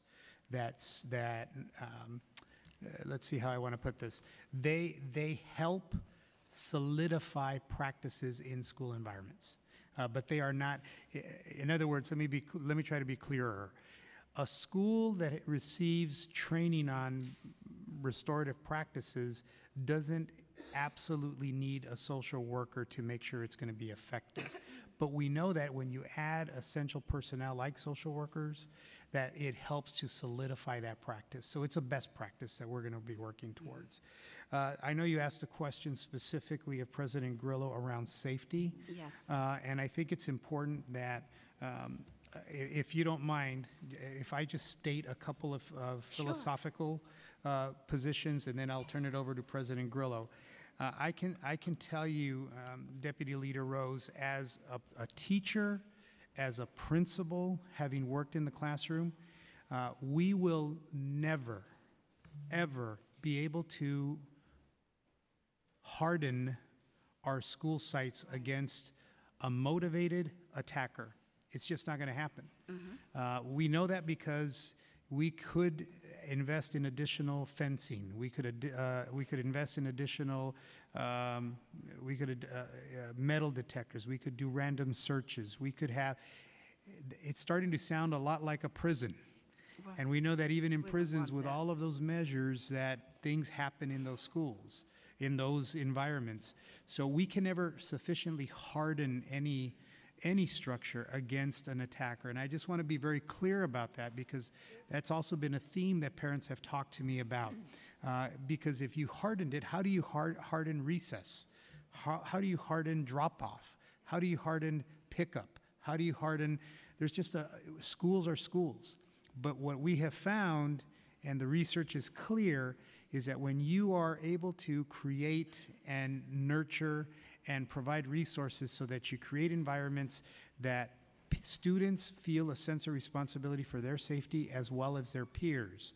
And they feel that they have an environment where if they see something, they hear something, they suspect something, they can, they, they have somebody in that school that they can tell, and they know they're going to be held anonymous, and they know that the adult is going to actually follow up on it.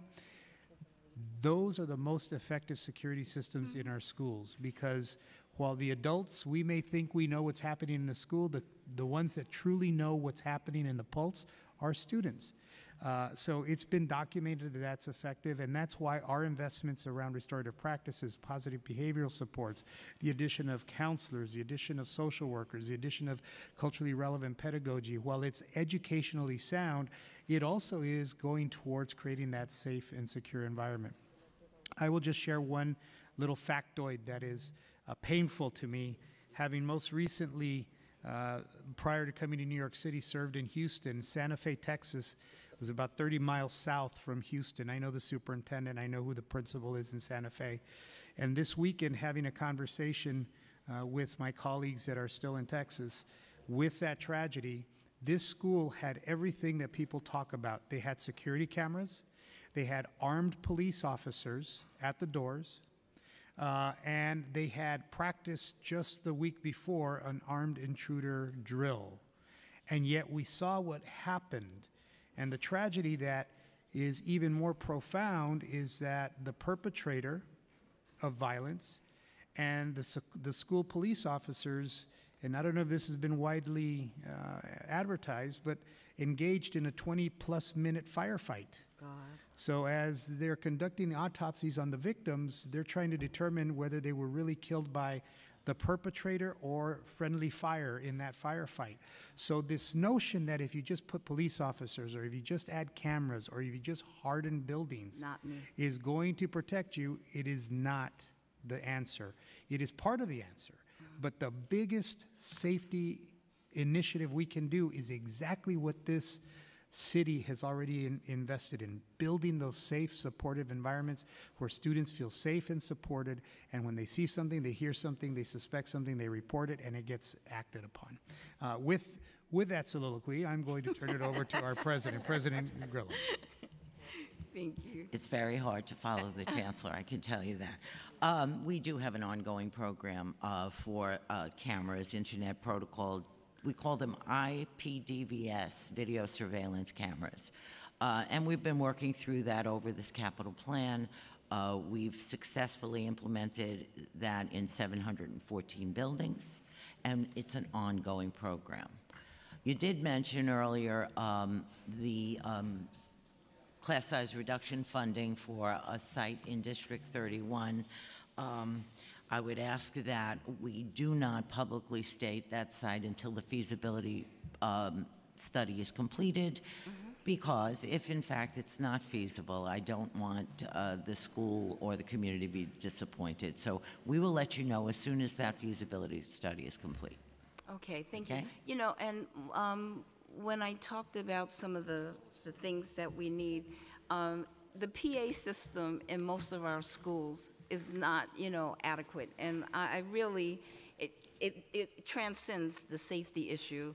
It, um, so I was just wondering, is there some sort of internal plan to sort of upgrade the PA systems and you know, in all of the schools? As I've mentioned, um, every year, the SCA sends a group of architects and engineers to every building, and we rate every major system. So if a PA system is uh, not functioning, uh, certainly that will be rated a number five, which is the, the worst condition. And those are the, the projects that we undertake in the capital plan, the fives.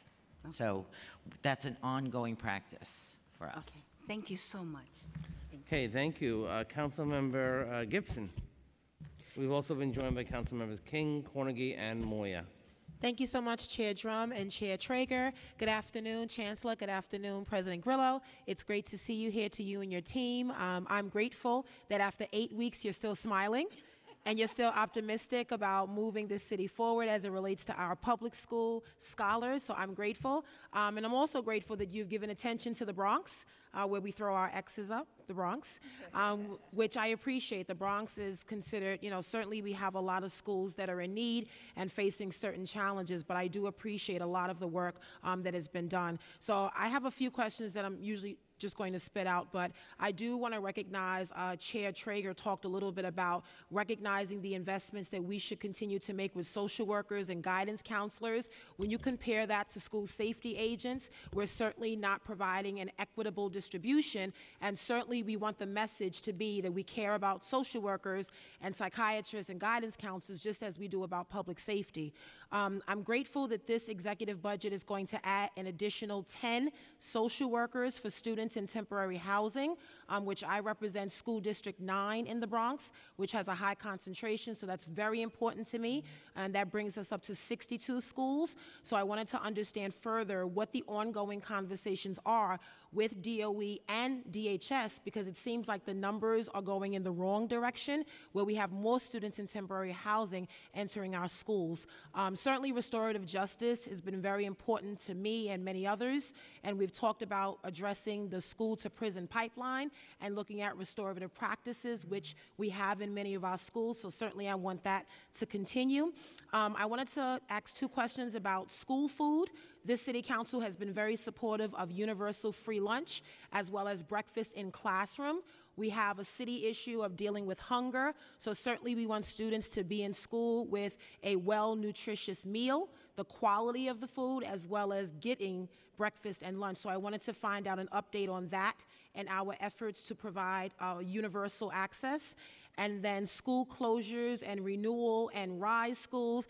Uh, Ursula is very familiar with me and some of the schools that I have had closed under the renewal program, but we still have remaining schools that are now RISE schools. So I wanted to understand what the budget looks like and how we continue to focus on many of those schools because although they may be out of the area of closure, they're not that high in terms of excelling that we want to lose sight of them. And so I, I do want to make reference that I have a lot. I probably have about six remaining middle schools that are renewal schools, and my superintendent's amazing, but we do need support. So I wanted to understand that, and certainly students in temporary housing, I've always said that your housing status should not determine your academic future. And although we've done great with dealing with truancy and absenteeism, adding bus routes and more literacy coaches, we need to do more. Um, and so I wanted to just throw those questions out just so that you can understand um, our perspective from District 9 in the Bronx. Thank you. Councilmember Gibson, thank you so much for those questions. I've really enjoyed uh, the time that we've spent in the schools in the Bronx. Uh, I have to tell you, I've had a great time in all of our boroughs, uh, but the Bronx uh, has really taken it on um, in many ways. And I think you've articulated uh, some of the opportunities, I'm not going to say challenges, but opportunities that we have to do right by our students, uh, particularly in the Bronx. So a couple of, a couple of thoughts, and then I'm going to ask my colleagues to jump in on some of those questions as well. Uh, We are very, very uh, supportive of increasing the, the support systems for our students, especially from an equity perspective, recognizing that certain communities have uh, significant challenges, and as we're able to ameliorate those challenges, students are able to perform better in school and have a much more stable experience. Nowhere is that um, more evident than how you've expressed some of the challenges in the Bronx as well. So we're really proud of the fact that we're investing in more social workers. We also are looking at and working with principals around how we're establishing more counselor positions there. Um, but that'll never be sufficient uh, because we, we do have a community schools approach. And as folks have asked me, what's your stance on community schools? I've said to them, as you look at a commu, if you, if you see one community school, you have seen one community school. There is no cookie cutter approach. But the essence of a community school is that a community will identify what are the needs that are that exist in that community, and then how are you able to bring to the table, whether it's uh, municipal agencies or uh, uh, community-based organizations or local nonprofits that will meet the needs that are present within that community. So what we're doing is doubling down on our approach in community schools and especially in, in the schools in the Bronx where there are a number of needs. Uh, I've just started meeting with uh, our, my colleagues in DHS and what we're looking at is how are we going to leverage our resources, not only in terms of manpower, headcount, but also specifically braiding the services so that we're not duplicating, uh, but we're multiplying our reach in terms of the schools that have uh, specific types of needs.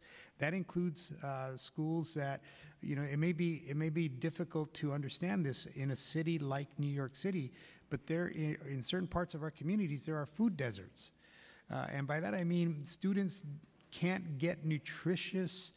Uh, nutritious food but for the fruit at the local uh, liquor store or bodega. So we, we absolutely take it very seriously about nutritious food in our schools. Uh, we are proud of the fact, I am proud of the fact that we have universal uh, uh, food nutrition for all of our students. It's free. It's not free, but we provide it, right? And I'm really thankful for the funding to be, to be able to make that happen. But we have breakfast in the classrooms, we have breakfast in our schools, we have breakfast and lunch in our schools ubiquitously across the, the system. We're also looking at how we're including a supper program for those students that uh, need that additional support as well. Uh, I will tell you that as I've gone across the city and done my listening tour, uh, my students, our students, have been very vocal about food and nutrition and what they think is good and what they think is not so good.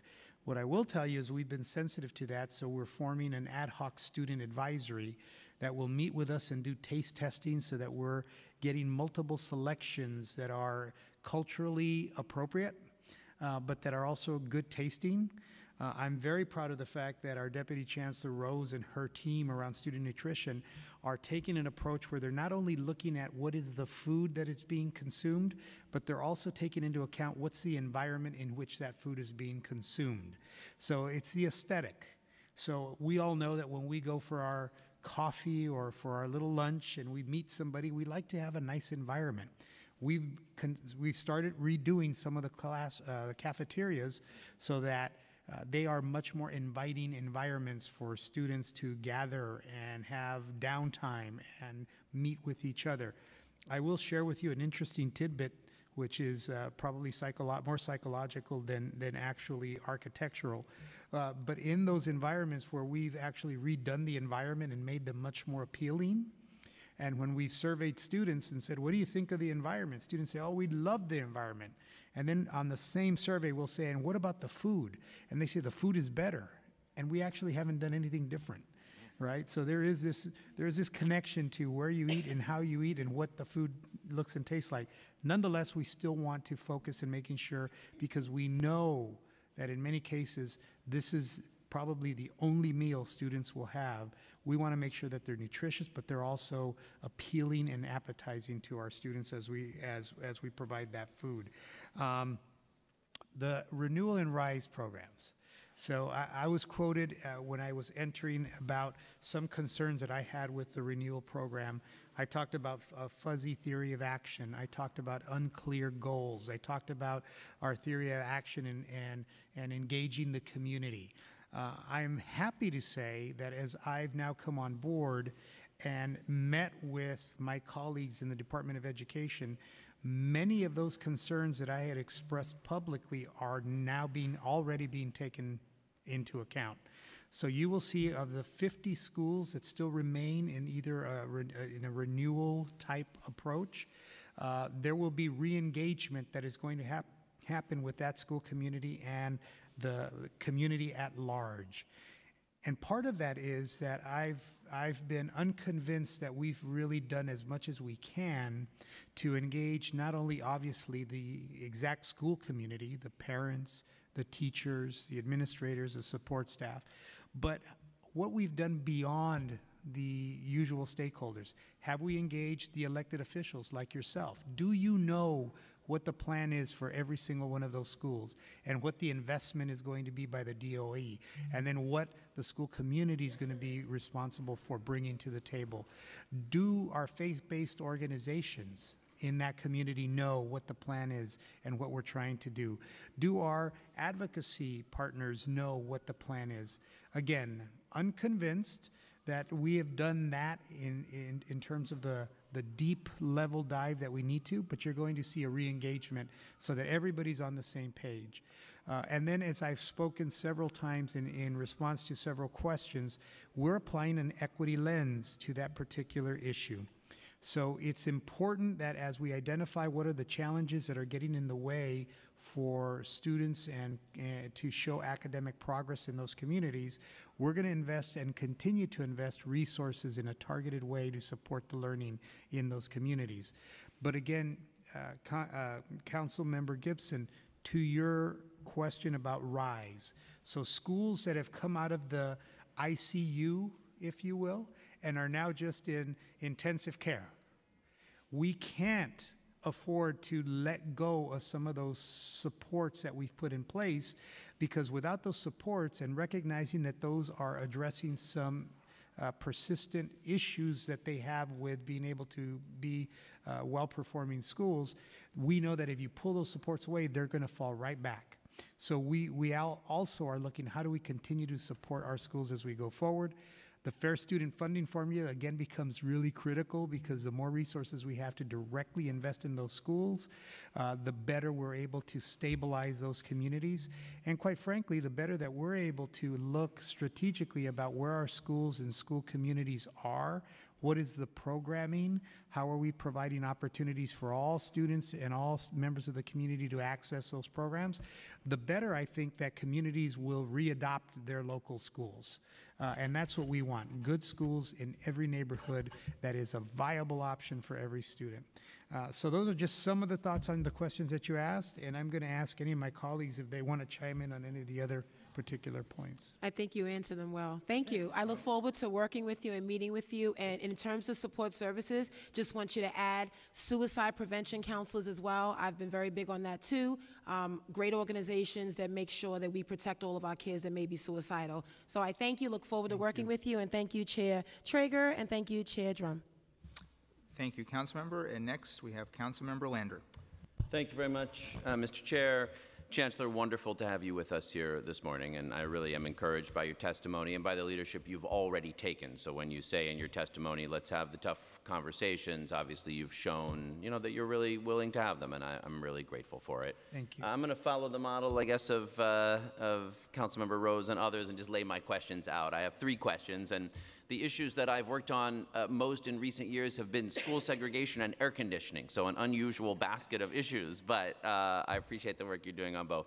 So, in addition to being encouraged by your remarks, I'm really encouraged by the District 15 process that we have underway. And I know we've got our town hall with you next week, and I hope you can join us for the fourth public workshop uh, in that process because it really has been having tough conversations and moving toward a more uh, thoughtful and more integrated District 15 middle school approach. And I'm encouraged by it. Um, it now looks like we're starting to put resources into confronting the challenges of segregation and racial inequity in some different ways in the implicit bias training and the culturally responsive education, in the resources provided to uh, bring WXY into the District 15 process, the SIP grants.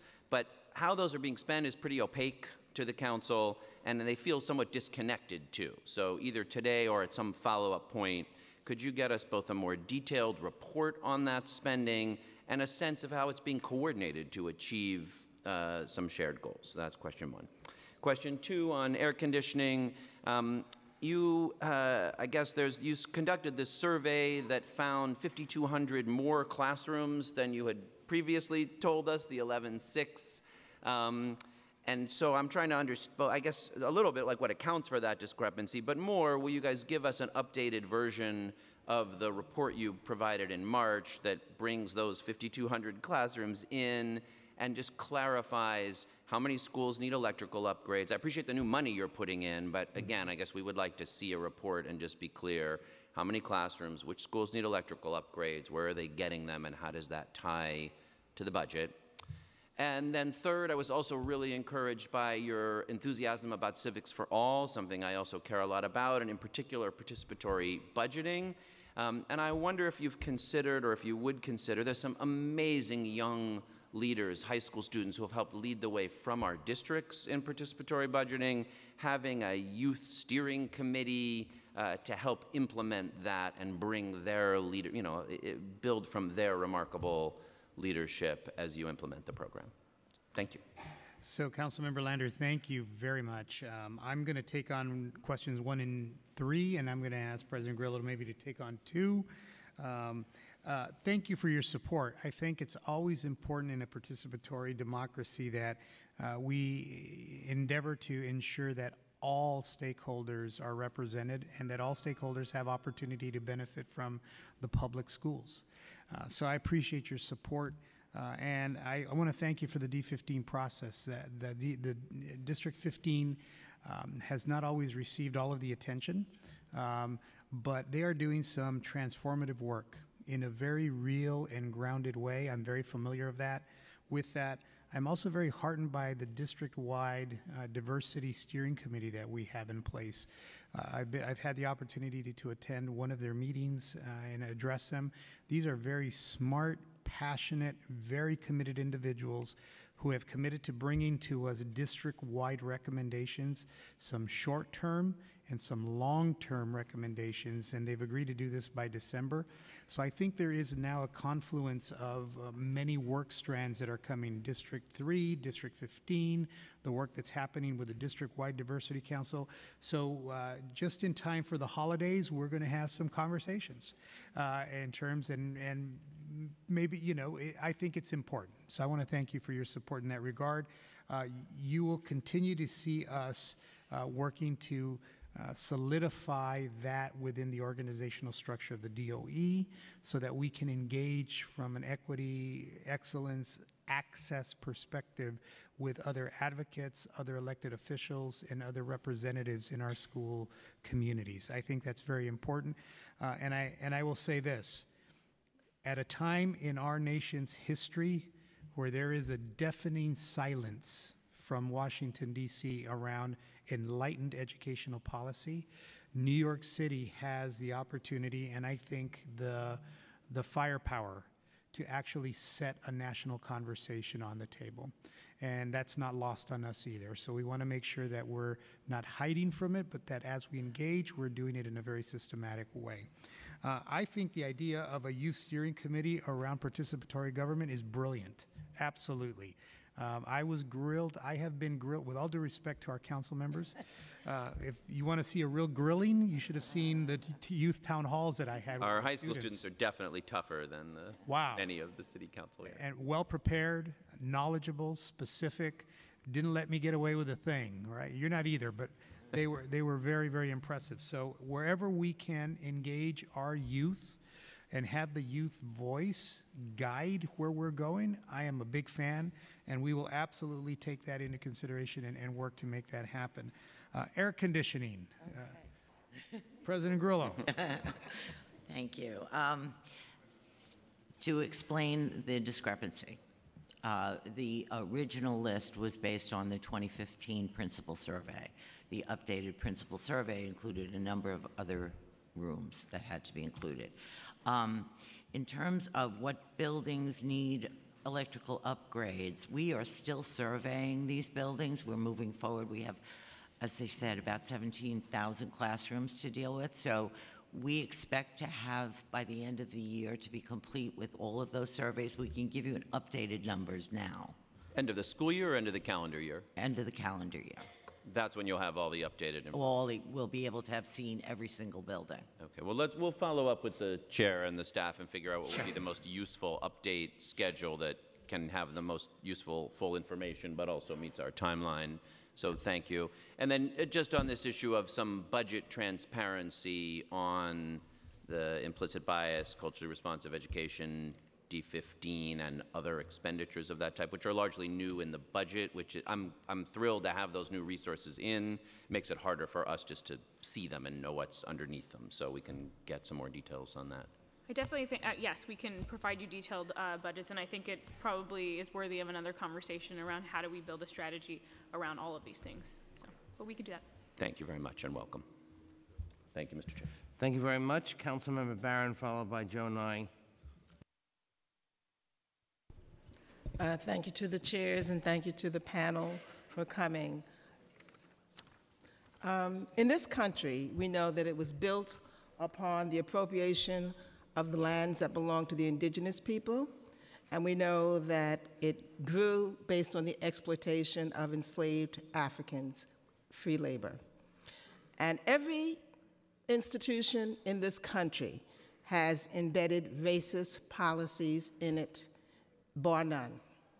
And I know that as we look at the Board of Education and we see how there have been improvements, there are still systemic, in my opinion, things that need to be addressed.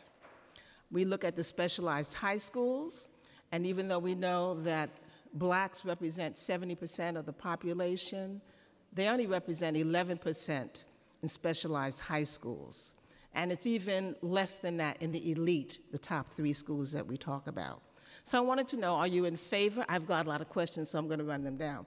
Are you in favor of multiple criteria being used for selection at specialized high schools? You talk about social justice, and we know that we've had instances of a teacher telling a student he could not, public school student, he could not do a report on Malcolm X because of Malcolm X's history, and another teacher who told black children to lie down so that they could be stepped on so that they would know how it felt in the middle crossing. I want to know what kind of consequences those persons face, not the retraining, but the consequences that they face. In terms of locations, uh, I think the temporary locations where they're needed are fine. And I'm particularly talking about the East New York Family Academy, which will be relocated for, I believe it's two years, perhaps three, with the Maxwell High School, because they're going to be getting, East New York Family Academy is getting a brand new building.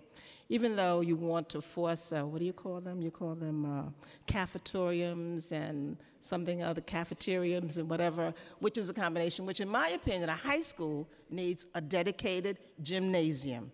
And that's what I'm pushing for because the plans are not finalized there. But where other co-locations are forced on schools, the host school loses out. Two years ago, the Langston Hughes School was forced into a co-location with a charter school.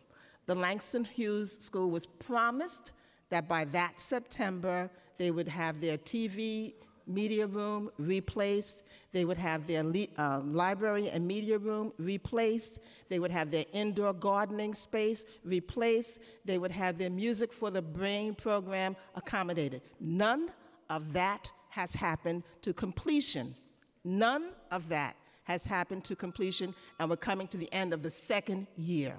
So I want to know how we're going to, as schools are forced to take on a co-located school, meet the promises that we make to sweeten the pot, to force them to go into something they really don't want to have. Uh, you've talked about AP classes. I'd like to know what the re- results were for the students. What are the numbers? I haven't been able to find those numbers yet. Uh, we talked about homelessness, and we know that each school only gets $100 through the McKinney-Vento allocation. I want to know, do you think that's enough to just rely on the feds to do that, or can we dedicate money within the uh, city budget to address that as well? And finally, thank you, Mr. Chair. Finally, uh, in the middle schools, in the middle grades, there are still teachers teaching particularly math and science who are not certified by the state to teach math and science.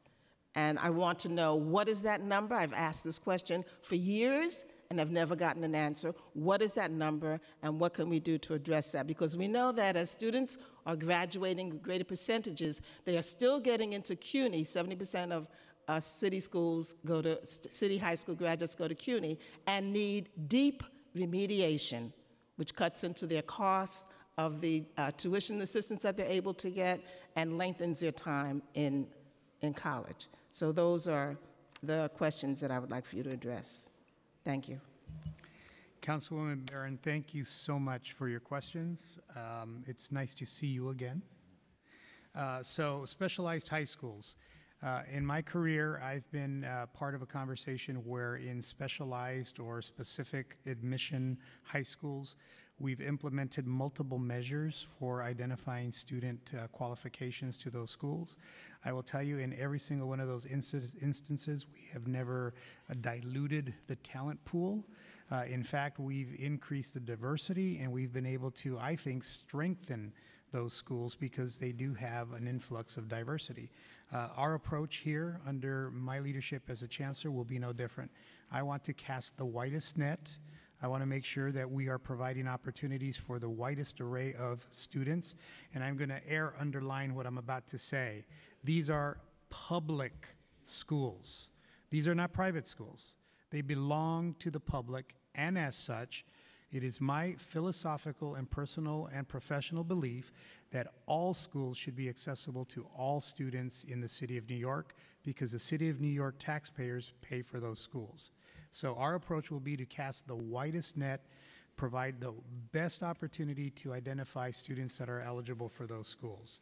Uh, in terms of uh, implicit bias training, um, I think the incidences, while I'm not familiar with the specifics of the incidences that you mentioned uh, in your question, uh, I think that begs the question uh, and actually is justification for why we're implementing implicit bias training, why we're investing in culturally relevant pedagogy and culturally relevant curriculum.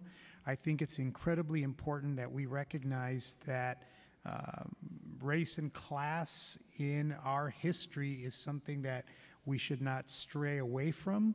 We have to recognize it. And as we recognize it, we have to talk about it. And in our classrooms, we should be uh, preparing all our students, our paraprofessionals, our teachers to be able to have that conversation in a culturally responsive and respectful way. So that's why we're investing in those in those uh, th- th- those uh, items, and why we're going to continue to increase the investment as we go forward.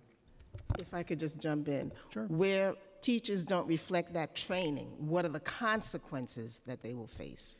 Well, it's unacceptable for any teacher to abuse a student. So we will follow up, and again, I'm not familiar specifically uh, with the incidences that you uh, mentioned. I will actually follow up on my own to find out where that is. It's important to recognize, and I know that you do, that incidences that, that in which uh, any employee has been accused of unprofessional conduct are incidences in which disciplinary process kicks in. I can't talk about those publicly, but what I will say is that uh, we will never allow any adult in any environment to either act unprofessionally or in a misguided way or in any way, shape, or form that harms children and not follow up with the full the full due process afforded in terms of the disciplinary process. Uh, in terms of co-locations, uh, in my entire career, uh, I have been faced with the issue of co-locations, usu- usually uh, initiated because of state law that requires vacant space be afforded to charter schools. It happened to me in California, it happened to me in Texas, now here we are in New York. It's the same story with a different set of characters. Uh, I will tell you that the best uh, thing that we can do is to do the very investments that we're talking about building local community schools, building programming, strengthening the academic uh, portion of the, the school community, and making sure that the very community itself, in many, in many situations, changes their own narrative about their local school. I can't tell you, even in the eight weeks that I've been in New York City, how many times I've had conversations with community members in various areas where they will say, well, everybody knows that nobody's going to go to that school. They should be going to that school. Well, you create this self fulfilling prophecy where people say, well, then why am I going to go? The community doesn't even want to go there. So when I talked about, in response to a previous question, we're re engaging our communities in our historically underserved, historically underperforming schools, that's part of the reason. We want everyone to own the village. We want the village to be informed, so we change the narrative. But as we're changing the narrative, we actually want to do something to make those schools a, a destination that the local community wants to go to. As we build our enrollment, there's less uh, unused space, which then uh, is less space that is subjected to uh, co-locations as, as mandated by state law. So we're very much uh, sensitive to that fact. Again, I, I, I want to make sure this is public testimony. I want to make sure. The other question I get asked all the time is, are you pro-charter or are you anti-charter? I'm not going to get involved in that fight. That's a red herring argument. Are we about building good schools and really strong programming in our schools? Absolutely. I'll talk to anybody, anywhere, all day long about that. But in a co-location initiative, you have to build schools that are going to bring enrollment. And the best way to do that is to build strong programming in our schools. We're committed to doing that. But in terms of an eight-week timeline presented by your department taking two years, that's unacceptable. Again, So I- I wanted to know, you know, when now can we expect what was promised to be done in eight weeks to be concluded? So um, I believe, Councilwoman um, Barron, you're referring to the promises you referenced to uh, Langston Hughes. Correct. Okay, so I'm going to find out where we are with that. I may ask President Grillo to update us on where we are with that. My understanding is that those projects have been completed, but I'm going to ask, Well, the principal that's there has indicated only the library and media has been completed. And I was with them last week, so Okay. there's much more to still be done. sure. Well, And it's unacceptable that a school that had a prize program, their TV film studio, is still not up and running after two years. Great. So what we'll do is we'll make sure that our staff visits and we'll get an update to you. Thank you. Okay. Uh, In terms of AP classes, we will respond in writing to you in terms of the question that you asked about uh, the depth and breadth of that particular um, program and initiative for us. Uh, And then in terms of McKinney-Vento, again, we're to, I'm going to look into that. Um, McKinney-Vento is, uh, as you know, a federal designation, uh, but I think, as we've already talked about, the in- investment that the city and the mayor is making in adding additional dollars to uh, serving our students in temporary housing, our homeless students, if you will, uh, I think is significantly more than that, but I want to get a a precise answer to you. One last thing, certification of teachers in middle school? Yeah, I'm unaware of, of that issue, so I'm going to look into that. It's, again, our, our teachers need to be certified. Um, so we're going to look into specifically, you mentioned the middle schools. So I want to make sure, uh, and you specifically referenced math and science teachers at the middle schools. We'll, we will also uh, get back to you with a specific written response on that. Thank you. Councilmember Gjonaj. Thank you, chairs, and once again, congratulations, uh, Chancellor. It's going to be very difficult to follow up on uh, Councilwoman uh, Barron, but I'm going to do my best. Um, in a city where we measure things by a New York minute, eight weeks has been a long time. in essence, the honeymoon is just about over, um, uh, but well embraced. There's so much to talk about, and whether it's keeping those school buildings open more hours in a day than they are closed, whether it be about the school food and why only 450 uh, out of the 530 schools have breakfast in classrooms, whether it be discussions of lead in water or lead paint that still exist in these buildings, mold and air quality that are impacting so many of our children. And in the borough of the Bronx, we have the highest rate of asthma, certainly a huge concern for many of my parents and the well-being of our children. Uh, from the headcount of this administration, uh, where it may be too top-heavy, where teachers are still spending their own money for classroom supplies, lack of gyms that was mentioned, uh, overcrowding and fully funded school facilities, to school safety, and, and I love your directness but I can't go back to my district and tell my parents that our school buildings are not the safest buildings in New York City. I need them to know that we're doing everything possible to prevent anything happening to those children in our classrooms. And spending gap in CFP and certainly after school programs. But I do want to talk to you specifically about the tale of two students, the demoralizing of our children, the dangerous conditions, and if you haven't guessed it yet, I'm headed to the trailers that we have in many of our schools. I understand that we have about 70,000 students that are in 4PK. Is that correct? Yes. Yes. And now our 3PK program is 19,000 by year 2021. That's correct. How many students do we have in trailers? We'll get you that number in a moment. While you look it up, I believe my recollection is about 2,800 students. And I, the 55 schools that you visited, I'm not sure if you've been exposed to the school trailer scenario. I, I've seen learning cottages, which is another term is used, or temporary classrooms or portable classrooms.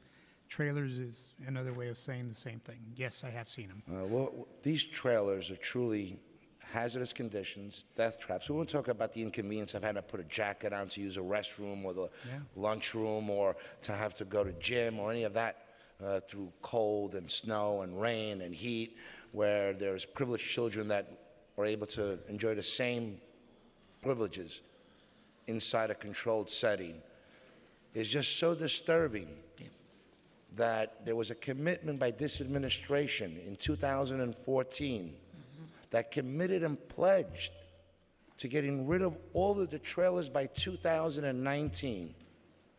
And today, best case scenario, we've removed 171. There are 84 more in the process. I don't know that process, that time frame, and 99 that haven't even begun being transitioned out. So I'd really like to have a firm commitment and understanding that we can't ask our children to dream big because all things are possible and create the tale of two students where there's, there's a feeling of demoralizing and a substandard condition that we are allowing to continue. And as, thank you, Chair, for the extension. The budget, the executive budget of $32.3 billion equivalates to about $29,000 per student. That is twice more than, I believe it's California per pupil, and certainly much higher than any other major city in the country. To spend that kind of money, and it's the wisest investment that we can make, and for it not to trickle down into these classrooms and to the students, is an injustice. And I'd love, I'd love to know what the balance, what the per pupil cost was in Houston and Las Vegas, and compare the two, and how is it that they're able to do so much more with so little? And how we've invested, and we keep throwing the money at the problem, and the problem just seems to be getting worse. So thank you. Thank you, sir. I appreciate your perspective. Um, so, to your question at the very end, you don't want to be in Houston. You don't want to be in Las Vegas in the per pupils. And I will very respectfully challenge that argument that they do more with less. Uh, Houston, when I left, was less than 9,000 per student. Less than 9,000 per student. In Houston, there were counselors, one for every 850 students. There were no social workers. There were very little to none of uh, school librarians. There were little to no uh, nurses in the schools. So I will challenge that assumption very respectfully because I live there and try to make ends meet. Uh, Las Vegas was even less. It was less than 5,000 per student. So the fact, and I've said it again, there is a cost of living in New York City, but even accounting for that, the fact that this organization, that this council and this mayor are investing the resources into game changers, 3K, pre-K, uh, equity and excel- excellence and equity for all, college for all. Uh, we're investing in social workers, we're investing in counselors, we're investing in the number of, of initiatives that we are investing in here in New York City speaks to a very enlightened approach. Now, are there things that we can do better? Absolutely, there are things that we can do better.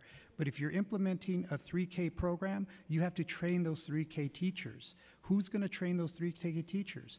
That could be considered part of the bureaucracy. I consider it part of the infrastructure to ensure high quality programming. If you're going to implement culturally responsive classrooms. That doesn't just happen. You need to train teachers and continuously provide support for teachers to be able to implement those initiatives. So there is an infrastructure that is important to be able to replicate good practices. Now, my goal is to come in with fresh eyes uh, and take a look at how are we implementing how are we organized to be able to not only implement what we said we want to implement, but also to partner with municipal agencies and other governmental agencies and community-based organizations, et cetera. Uh, part of that is us being prepared to do that as well. Uh, I know that uh, and I haven't been fully briefed on this, but I know that there, the commitment towards removing temporary classrooms uh, is, is a real commitment. Uh, I'm going to ask President Grillo in just a minute to give us an update of where that is and what the challenges are, and then how do we work together to actually make that real in terms of whatever commitments have been made. Um, but the notion that I am so happy to hear you talk about, Councilman, is this tale of two children in our city. Uh, and as I've traveled across the city in eight weeks, I can also point to the tale of two children, uh, where children in the same grade level in different parts of our city are getting drastically different experiences every single day. And it's not only facilities, it's about academic programming, it's about opportunities, it's about social emotional learning and feeling comfortable in their classrooms. Uh, so we are going to be great allies as we work to eliminate that tale of two uh, uh, students in our city. But I do appreciate the passion and the questions and look forward to working with you. I'm going to ask President Grillo if she can update us on where we are with the temporary classrooms. Absolutely. Happy to do that. Um, again, uh, council member, you were correct in that we have removed 171 of these trailers. We began this process with three, over 350 trailers. Um, we've removed 171. We have plans to remove another 84. And as you said correctly, we have 99 still remaining uh, with no plan. But there's a reason for that. And the reason is there are children in those classrooms. Now, The issue is, where are those children to be relocated to? Because we have the money, we have the funding, the city has committed to providing the funding to remove these trailers. If there are children in those classrooms, we have to either send them to another school location where there is room, or find room within their existing buildings. In some cases, that's next to impossible. Um, I, no, I agree with you on the challenges. Don't get me wrong. But it's very hard for me to accept those explanations when you found room for 70,000 pre-K, four PK students overnight.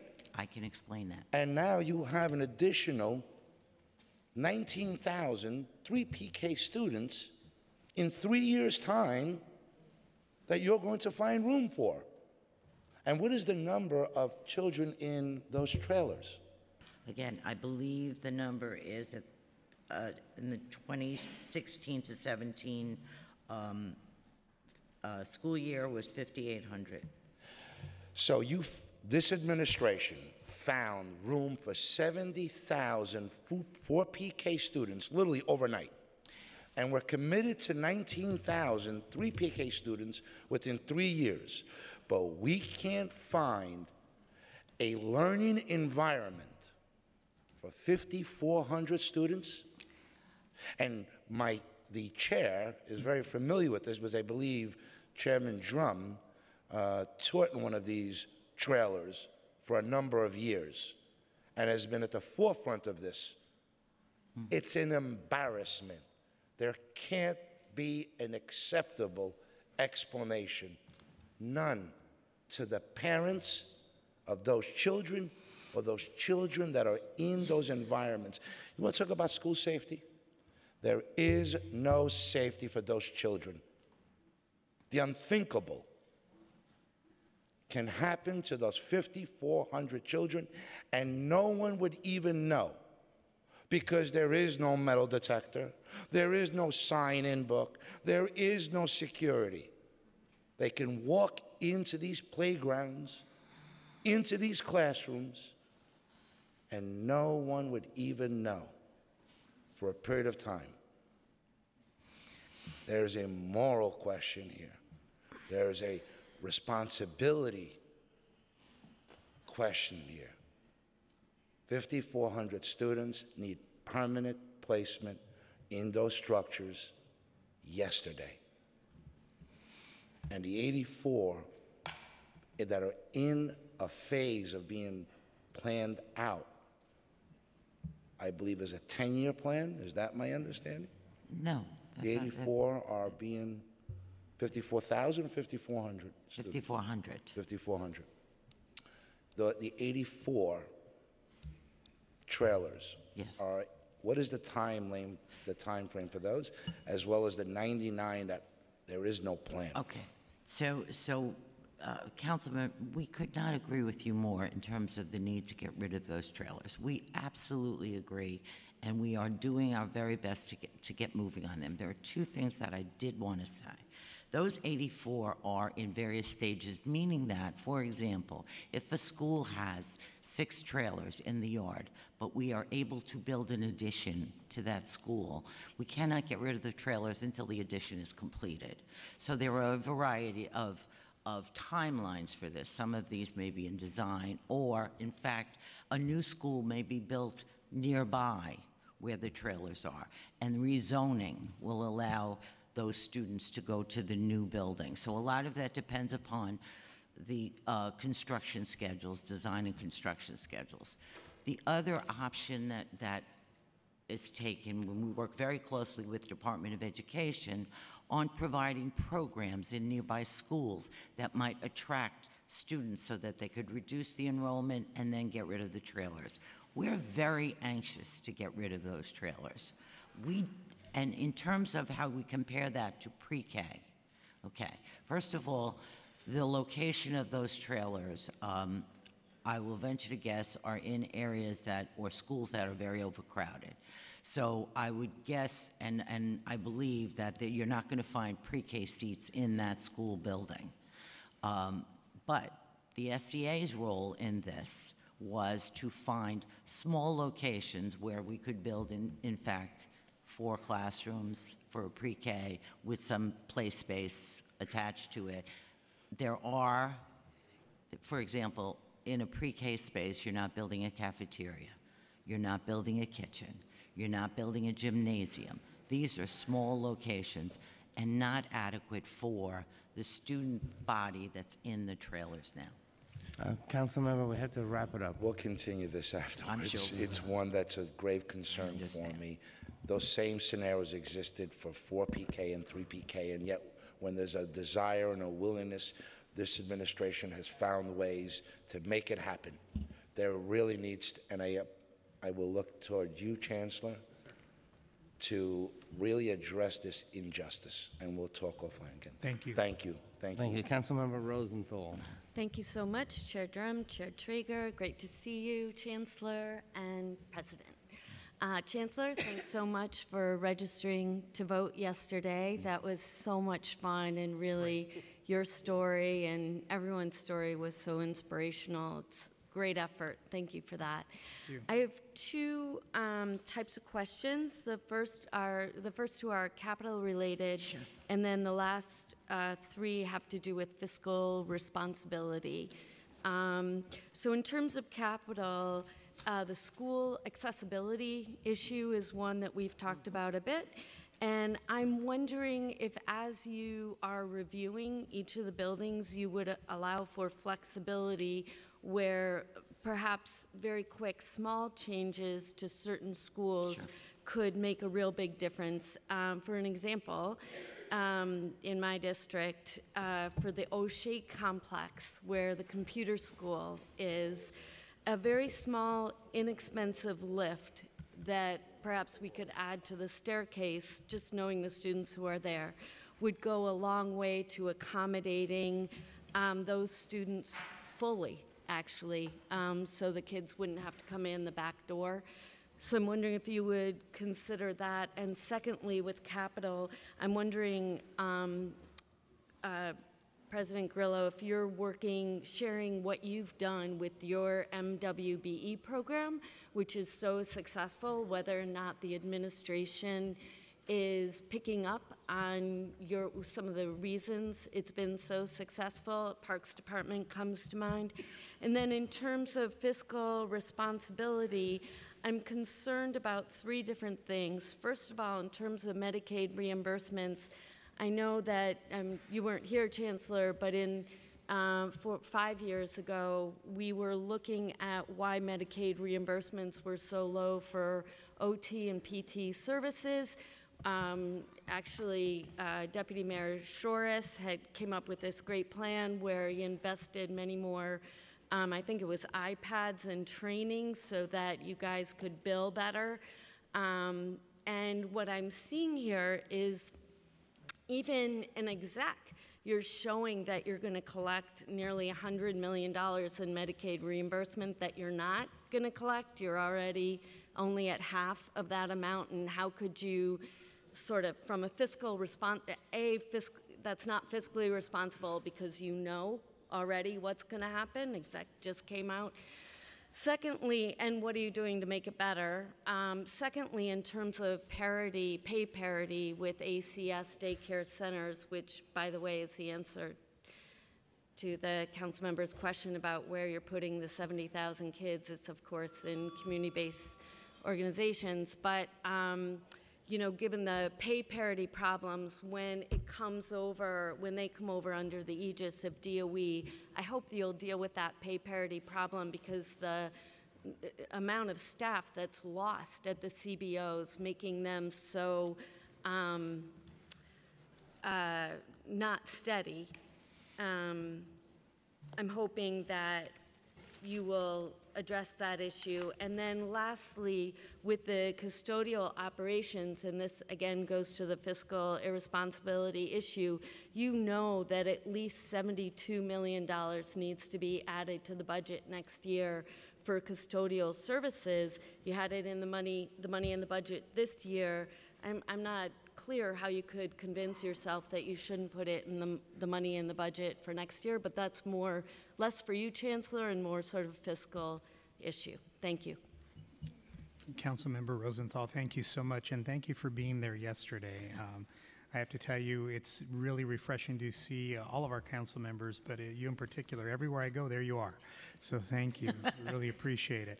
Um, I'm going to answer a couple of questions, and we'll we'll have my members, my colleagues, will answer some specifics. So, in terms of pay par- parity, this is an incredibly important issue, and uh, as was mentioned, uh, the, the the number of seats for pre-K and 3K um, can't just be within the portfolio of um, facilities in the DOJ. We are working with our community-based organizations.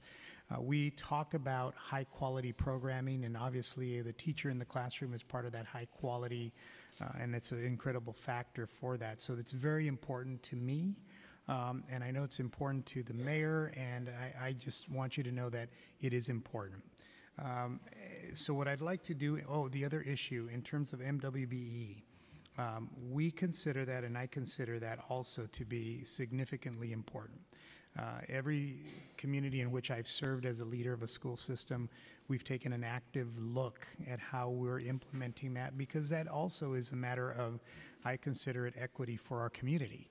Uh, and how that translates. So I'm going to be diving a little more into that, and I know President Grillo has done a great job uh, with that particular issue, but we, we want to learn, we want to get better as we go forward. Uh, in terms of the other specific issues, I'm going to ask if uh, not only uh, maybe Mrs. R- Ms. Ramirez and Mr. Orlando can also take those, any facilities issues, I'm going to ask President Grillo to take those. Go ahead. Okay.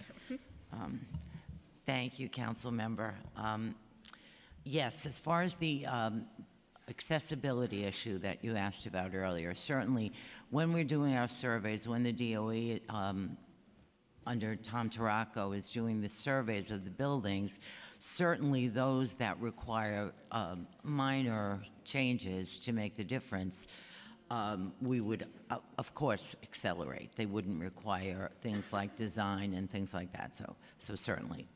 Um, As for our MWBE program, Sorry, and can we follow up on that specific Absolutely. example? Thank you so much. Absolutely. As far as our MWBE program, we're very, very proud of that program. And um, we have a team of folks who work very, very hard to make sure it's successful. I will say this, that under Deputy Mayor Thompson, uh, he has, his staff has been meeting with us regularly and has instituted a number of programs that replicate what the SCA does. So um, we're really excited. We had a program this past year called the Opportunity Academy, where we took um, young people from community college and trained them in construction back office work. And it was so successful. We're doing it again. So similarly, other other agencies can do um, programs like that, but it certainly might not be related to construction, so they would have to formulate their own program. But they're very, very interested. Okay, and so you're saying it's uh, Deputy Mayor Thompson, who's fairly new, is, is now coordinating that Correct. effort between SCA and other agencies? Correct. Okay, that's a sea change. That's great to hear about. Thank you. So I'll take uh, the question around the custodial services. Um, So as you noted, uh, that there is a discrepancy in terms of the the resources. We do anticipate having additional funding um, for, for the upcoming fiscal year, and hopefully that will happen for, uh, at the adopted uh, budget. This is an ongoing conversation. I- You're saying that you'll be able to slip in $95 million without blinking for So- adopted? We're having additional, con- we're having ongoing conversations with OMB and City Hall around how do we ensure that there are adequate services in all of our schools and making sure that our schools are clean and safe. Um, so we do expect additional resources in, in the budget. Um, at the end of the day, uh, this is, their ongoing yearly conversations with OMB and City Hall to make sure that we are, uh, making sure that we have our school buildings very clean. So they've held aside in reserve some money for this? Or is something, I don't understand Um, how that just slips in? 'Cause I, I have a couple more projects I'd love to just slip in. I hear you. Um, this is, I mean, it's ongoing conversations with, uh, with OMB, and I'll happy to have a conversations with them in terms of where the resources are coming from. Okay, it just seems, I mean, uh, okay, and then will it be baselined or year by year? Right now, we're looking at it from a year-by-year stance of, of just making sure of what, you know, what schools need and how, uh, there was an earlier question of how do we actually get cost savings? So it's year-by-year discussions around how do we uh, do, uh, have uh, more effective and efficient services. One, of- one of the things I hear you saying on that, though, if I'm not mistaken, is that there may be a redefinition of the jobs. Uh, Like there was the last time where you had super, we had um, custodians taking over two schools, um, where they were only serving one in the past. Is that something that's under consideration? Sorry, we're just. There is a custodian, there's a custodian for each building. There is the, and I, I might get the terms a little bit incorrect. There's like the, the host school, and then there's usually some smaller schools associated with that. But there is one custodian for each building. But I can, I can, I'm happy to sit down with you and talk through, and with the, you know, executive director for NICES, to sit down and have a conversation around what does the services look like, and the ongoing conversations that we have year to year to make sure that, one, we're doing this efficiently, and two, to make sure that there's enough money in the budget so that schools are clean. So what I'm hearing you say, though, is that you, to make it wor- work more efficiently. Yeah. Can you shed some light on what you mean by work more efficiently? I mean, this is, uh, in the in- initial uh, announcement around uh, NICES, as you noted earlier, there was a goal to have some cost, some cost savings here. And so we're trying to assess what is the best way to do that um, in a way that does not actually have any detrimental effects on schools. And that has been, that's complicated, as you, as you might know. Um, And we, we want to make sure that we're not either harming the workforce and/or making sure that the schools are not clean. So I, I do think it's worthy of having a discussion and a sit-down meeting to kind of talk through the details of NICES. Okay, thank you. Um, If you could touch on the Medicaid reimbursement, because on that one, I, that too, uh, are you counting on the city just to make up for your not being able to collect that money? So it's additional money that the city's going to have to come up with for that? Again, then resulting in the fact that we have, because you're, you haven't implemented the systems that we gave you everything you needed for four years ago, somehow that hasn't happened, and now it's going to mean that some program that, you know, we would like very much to fund that actually would be helpful to students won't be funded because you're not getting the reimbursement that you're owed. I mean, either, you know, it's sort of one of those fish or cut bait things. You know, if you're just not going to be able to set up a system to collect the Medicaid revenue that you're owed, don't, don't tell us that you are, and we'll know that we can spend money on something more meaningful or whatever. Just be honest about it. No?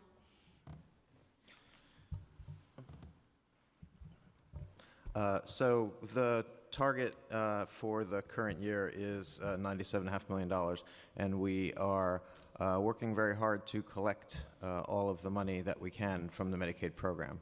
Uh, We feel like we've made a lot of progress on both OT, PT, and speech. Uh, The target had contemplated, in the current year, it contemplated that we would have a uh, uh, been more successful uh, and more, more quickly at speech collecting services, um, but that uh, work uh, is actually ongoing. And we do have uh, time after the year ends. We have up to a year to bill for services that were provided in the previous year. Um, so we're hopeful that we'll meet the target. Okay, I, I just think it goes, it questions fiscal responsibility. And I don't know, it'd be great to really understand what you're, what you guys are doing or not doing. Thank you. okay, thank you very much, Councilmember. We're going to, uh, the Chancellor has to leave shortly, so we're going to move along here, and uh, we have questions from C- Councilmember Salamanca, Kallos, Deutsch, and Cornegy, and then a a follow-up by uh, Chair Treyger, and uh, we'll- we hope that you'll stay with us for that, and then I'm going to, not, that'll be the end of it. We will not have a round two. Thank you, uh, Mr. Chair. Good afternoon, Chancellor. First, uh, Chancellor, I want to commend you and applaud you on your retweet back in April where you called out wealthy white Manhattan parents angrily ran against plans to bring more black kids to their schools. I thank you for standing up against segregation in our public schools. I, I am, I thank you for this type of leadership uh, that you demonstrated, um, ensuring that all kids regardless of their race or their status, have access to the best public schools. And this is the type of leadership that we need in a chancellor, so thank you for that. Um, my, uh, my question here there is a national conversation now on opioid and heroin overdose, and it's getting the attention now from more. Um, it's getting national attention because overdose heroin is affecting more affluent communities. Uh, recently, the mayor announced uh, four locations for safe injection sites, and one of those sites are in my district, and I am supportive of this. Um, I am working on the administration ensuring that we pick the right location for this site. Uh, but in my district, it's ground zero for heroin use, especially on 149th Street and 3rd Avenue. Um, last year, I introduced a bill which would require all public schools to have naloxone in stock in case that there's an overdose inside or in the surrounding areas of the, of the school. I immediately got resistance from the prior administration, prior to you, the prior chancellor, and her team, um, because they had data that showed a very small percentage of overdoses in the last five years in public schools. Weeks after that, a special education teacher at the Bronx Public School 811 in my district, he passed away from an overdose, a heroin overdose in one of the bathrooms. And so I am reintroducing this bill, and I am looking for support from the, the Department of Education now that we have a new chancellor. And I wanted to know what was your opinion um, on this? So thank you, Councilman, and thank you for your, your words of support. I, I am very appreciative of that. And uh, what you see is what you get. You'll continue to hear me at times be as blunt as a spoon, uh, but I think it's an important issue, and I thank you for your support. Uh, I think it's important that we have all available um, opportunities to save lives, whether that's defibr- defibrillators at entrances of our schools, to uh, CPR training for our employees.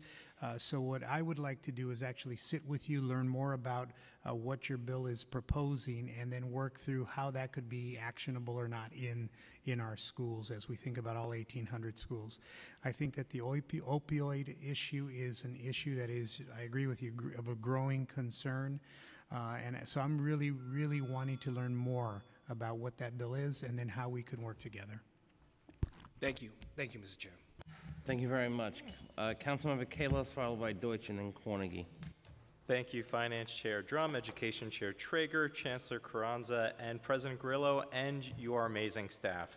Uh, pencils out, we have a timer and you don't, so here come the questions. Over the past four years, I've focused on overcrowding, building new school seats, civics, and hunger. On universal pre-kindergarten for three and four-year-olds, thank you for the new pre-kindergarten seats being built for this September. That said, how many four-year-olds applied for pre-K seats on the Upper East Side, and how many received an offer within mi- one mile of their home? How many were offered seats more than two miles away? Many of the pre-kindergarten seats are offered in private child care settings, some of whom are represented by District Council 1707. Do these pre-kindergarten instructors offer the same quality and curriculum as public schools? If they are doing the same work, shouldn't they get paid the same rate? Over the past four years, I have asked the president of the School Construction Authority whether my district needs more seats, and I have been advised repeatedly that there is, quote, no identified seat need, end quote. Feel free to interrupt and correct me if I am wrong. However, according to the School Construction Authority's Enrollment Capacity and Utilization Report, Manhattan, based on October 31st, 2016, audited registers, uh, the Council-matic edition, el- elementary schools in my council district have a target cap of 3,519 seats, but enrollment of 3,598 seats for 102% utilization. With my district overcapacity and new construction planned or in progress, could the new five-year capital plan include more seats? Would the school construction authority agree to reach out to every new development in my district, meet with the developer regarding, regarding including new school seats in their building, and report on progress with my office? Would the school construction authority work with me, the mayor, and the city planning commission to create incentives for new schools with new construction? And Chancellor Carranza, with half of my seats serving the borough and city in schools that are almost entirely children of color across the street from schools that are majority Caucasian, would you commit to expanding integrated seats for the district? Uh, additionally, as you may know, lunch shaming is a real thing. It happened to me 20 years ago, and I'm so grateful to your predecessor for rolling out universal free lunch in addition to breakfast after the bell. And in our one on one brief meeting, I already mentioned it to you, but how do we move forward with guaranteeing every one of our public school students after school, supper, and fresh food to bring home to their families? On civics, after four years of asking, I'm pleased to see citywide voter registration of high school students on Monday, despite it happening on a Jewish holy day. Would you support legislation to mandate this valuable practice continue permanently? Along the same lines, would you support mock voting in June and fall's elections?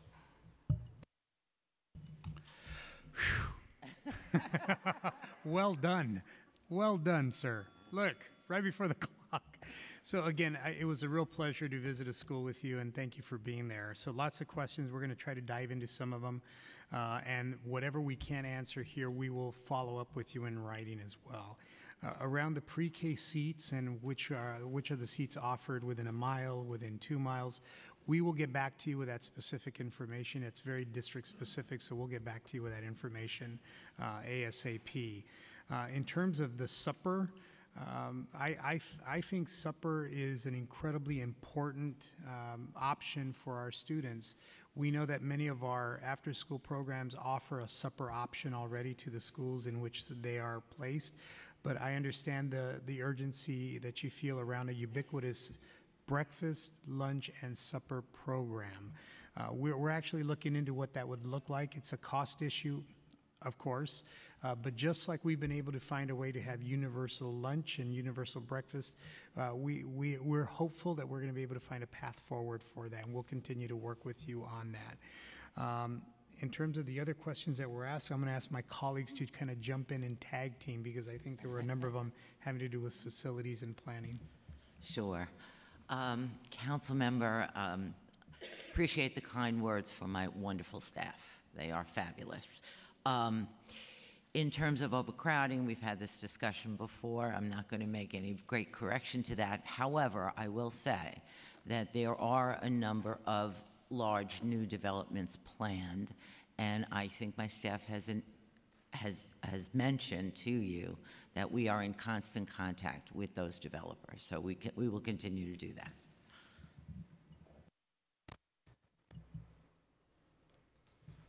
Uh, just, yes, good. We, we're going to have to get back to you on the specifics, your question around pre-K in your district in terms of, you said two miles away, I believe was your, your parameters.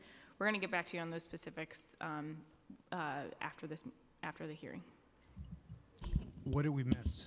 Uh, pay parity uh, for the private and school-based sites, uh, whether or not we could, and, and then the whole civics piece. Yeah, so pay parity, uh, obviously, we want to make sure that anybody that's working with our children that are, co- are compensated appropriately. Uh, that has been brought to my attention as an issue, uh, and I'm working with uh, not only uh, our staff, but also the staff in the mayor's office around that particular issue. But, but we agree, anybody that should be, uh, that's with our students, uh, we want to make sure that they're, they're being treated fair and responsibly. Around Civics for All, thrilled about Civics for All. I think it's important that we're registering students. I know that the intent is to continue to not only register students, but have active participatory uh, experiences in government. Uh, mock elections, um, I have to find out what we're doing around that. Uh, I know in other districts that I've worked in, we've had mock elections and they've run pretty well. Uh, so let me find out what we're doing uh, around that particular issue in, in our school district and we can respond back to you as well. And I think the, the last piece is, so on the school construction authority, I'd like them to build more seats, but for you, uh, they build, you set the program. Half my seats are not designated just for my district, and they now serve the entire borough, the entire city. Those seats tend to be almost entirely children of color, while the seats that only serve my district are majority Caucasian. Uh, how can we work on integrating those additional seats uh, or setting aside more for the uh, district in a way that can be integrated so you don't literally have segregated school across the street from segregated school? Yeah, that's the work that we're talking about, this whole issue of integration, segregation, uh, institutional barriers. Uh, I think you just identified an institutional barrier, so that's, that's on our radar. Um, We will engage you in that conversation, but we're also going to engage the local school districts, the local districts, the, the schools as well, uh, around identifying how we do eliminate those kinds of issues. I'm raising my hand. I'd like to work with you to integrate my schools. Thank you. Thank you, Councilman. Okay, thank you. Councilmember Deutsch. Thank you, uh, Chair. Um, So I'm going to be very brief. Um, Councilman Michaelis just asked 51 out of my 52 questions. So um, I'm going to get down to it. So um, I had a conversation with administration beginning in January, and I had a conversation with you, um, Chancellor, just a few weeks ago when you were in my district. So um, I'm looking to um, see if we can add another two boxes, another two in on the student application form, asking students if they are a child of a um, a parent who's an active military, and in addition to that, asking the child if uh, they're a child of a veteran. Um, this helps in a number of reasons. Number one is that when a child is failing in school or a child may have issues, it may be too late to find out that um, the parent, a parent is a veteran, may be suffering from PTSD or other related issues. Uh, in addition to that, there are a lot of resources available for students, uh, children of veterans or students of, in, of a parent who's in active military duty, and as well as um, there's also many resources for parents. So sometimes a veteran or someone who's in active military duty doesn't know what resources are available to them. So this way we could collaborate with DVS and uh, and with the with the peer council, with the with the with the counselors in schools, to better understand and better know uh, which children are uh, children of veterans or a child of active military. So going back and forth with your office in January. So I'm asking you respectfully if um, we can make this happen for this coming school year. Councilman Deutsch, thank you again for the, for the question. We've actually, I've actually um, elevated that question to our enrollment team about, um, it, it seems like a very straightforward request. Uh, What I've asked the team uh, to get back to me on is, oh, so let's say we identify, and let's just say we have out of 1.1 million students, uh, let's just say we have uh, 5,000 that identify in those particular, uh, with those particular characteristics. Are we prepared then to have appropriate staff and resources to fully engage with that information, make the appropriate connections to federal authorities, state authorities, local authorities? Or do we have then the processes in place to, if a student is demonstrating uh, any kind of either antisocial behavior or less than uh, what we would like to see academic progress, how would we then intervene and connect people with those? So it, it seems like a very simple prospect, um, and, and I, I think it's a great idea.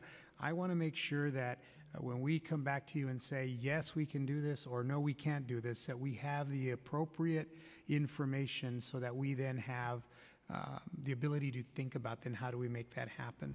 So, uh, as I said, I've elevated that to our enrollment team. They're updating me on what that's going to look like. I can't make a commitment that that'll happen for this enrollment season as we're already, in essence, in that enrollment season. But it is something that I'm taking very seriously, and we've asked our team to be very thoughtful about. Okay, I just want to respond with two, two quick things. Uh, number one is um, uh, Department of Veteran Services. I'm sure they'll be willing to collaborate with administration and train uh, these coordinators. And number two is that the chancellor mentioned that you don't know if, if the school's prepared in case you come across a child who's not doing well because of a parent who's um, who has PTSD. So if nothing is being done now, if we can't handle it, then we need to, you know, at least we have those services and we better understand those services by um, having that information beforehand because we can't just let the child go by saying we don't have the services. There are services available, and we tend to forget that when this federal um, money is available for such things, we neglect it because the money is there, you know, big deal. It's more exciting to fight for the budget than to fight for money than to say, uh, you know, the money is there, you know, too bad, you know, let's, let's just go with the flow. So the federal funding is there. Uh, we have an agency, Department of Veteran Services, who, are, who have peer counselors throughout all five boroughs who could have a, a job, additional job to go out to the schools and train these people. Um, so I'm asking respectfully if we could make this happen for this school year. We cannot wait another school year if a child is not doing well to say we don't, we don't know what resources there are. So I thank you, and I look forward to a, a response before the school year. Thank you. Thank you, thank you, council member. And I, again, I remain jealous of your voice. Uh, that is an, that, that- I want every one of our um, public announcement systems that we install to make us sound just like our councilman. So I, uh, the chair just gave me an extra three minutes to talk. We, we, we share your sense of urgency, sir. Again, I, I want to make sure that as we respond, that we're responding in a very, very proactive, very systematic way to the responses. Implementation is key, and, and I understand that. I also want to be clear for those of us that are listening or watching us that any student that presents any kind of a difficulty, we have processes in place to assess how are they doing, what's the root cause of that. Uh, so we're not letting any student go, but this is just another layer I think that could be very useful.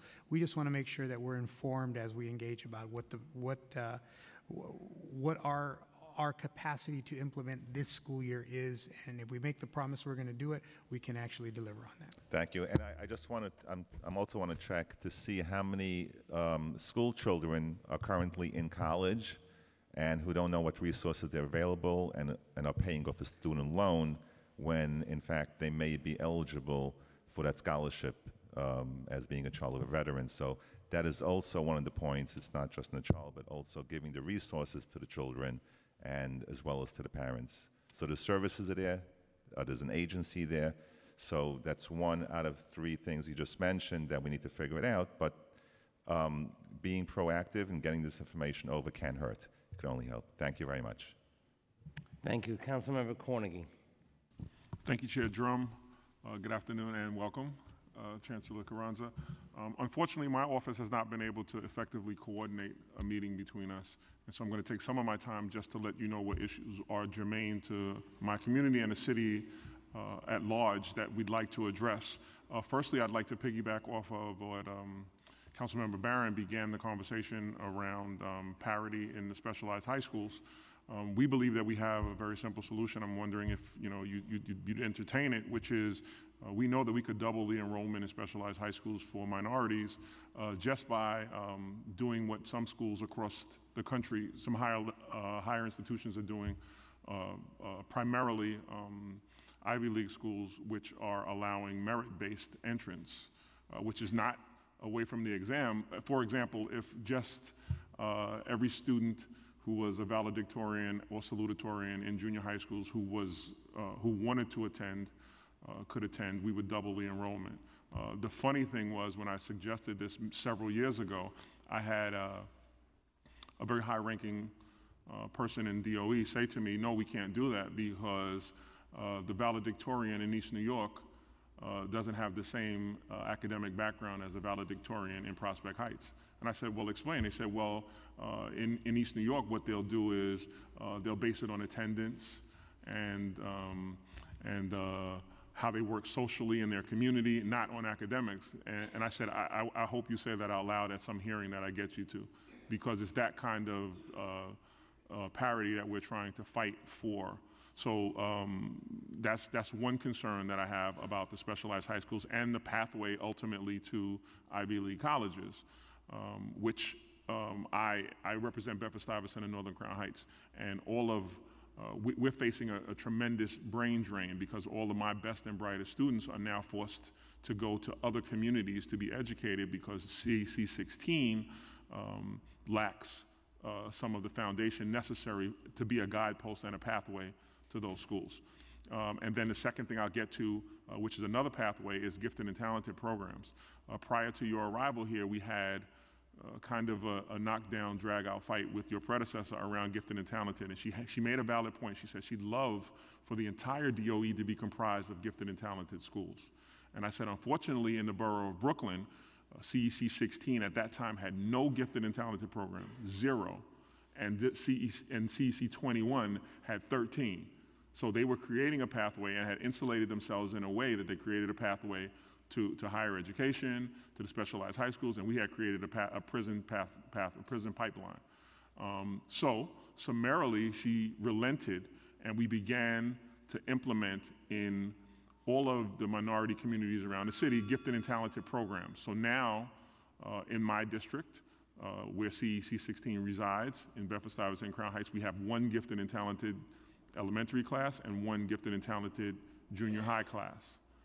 But they're tremendously under resourced. So my parents are not willing, even if they live in the area, because they can make comparisons to other gifted and talented programs across the city, and the resources have not been allocated.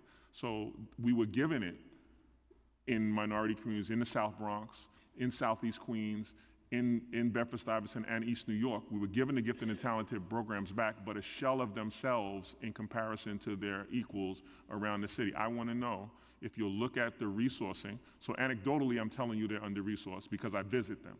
And what they're supposed to provide in an academic pathway they don't provide, and the administrators and the teachers are telling me that they're under resources. And when I visit District 21, I can see evidently, it is evident to me what, what a gifted and talented program should look like and what resources should be available. So uh, there was an effort made, which I commend the DOE for doing once they realized that there were no gifted and power, first of all, there were no gifted and talented programs for the last two decades in minority communities.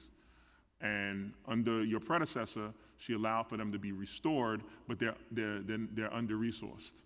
So I'm, I'm asking for a commitment to look at those gifted and talented programs, to get them resourced appropriately so that parents can do for their children what they'd like to do. Provide an excellent level of reading, writing, and arithmetic, but the socialization that's, nec- that's necessary for them to live, work, play, and be educated in their own communities. So, Councilman, again, thank you for uh, the issues that you've brought up. Um, I've spent a lot of time in Bed-Stuy, Crown Heights. I'm sorry we haven't been able to connect, but uh, it's no difficulty to get in touch with me. So, I'm, I'm after this, I'm going to make sure you have my scheduling person so we can spend some time together. Would really welcome that conversation. Uh, in terms of specialized schools, thank you for your recommendations. I have to tell you that uh, what you've shared has made it onto my uh, radar um, as uh, some potential. Um, so uh, again, as we've had conversations with lots of different folks uh, in the city, as I have, as I've come into this uh, conversation, I want you to know that that idea has been brought forward as well, uh, and it's part of a portfolio of possible fixes. Uh, one of the uh, issues that continues to vex us, and I think it's important just to mention, is that at least uh, in some of these specialized schools, there's state law, which now uh, regulates what is exactly required. I've never seen that. In, in all of the states I've ever lived in, I've never seen where there's state law that specifically requires a certain entrance exam for students in a public school system. I've just never seen that. So that's a different uh, variable that I think we can work together to, to address as well. Um, but we are looking at that particular issue. Uh, the mayor is very interested in that issue as well. And I want to thank you for your uh, advocacy around making sure that all schools are open to all of our students. In terms of gifted and talented, I'm, I'm happy to hear, and I understand that there's at least one, and this sounds horrible, there's at least one in every district. Uh, Based on your comments, I understand why that's important, based on what the, the recent past was. Uh, Our commitment in terms of how we utilize our resources from an equity perspective falls squarely within the concern that you have raised here today. Uh, if we look from an equity perspective, where are the communities that have historically been underfunded? Where are the communities that have historically been underserved? Uh, we have as a guiding principle um, and one of my guiding principles is how do then we equitably distribute resources so that students and communities are being served in their communities. Uh, that is a guiding principle, and I'd look forward to working with you on how we go forward. But that's also something that is important for us as well.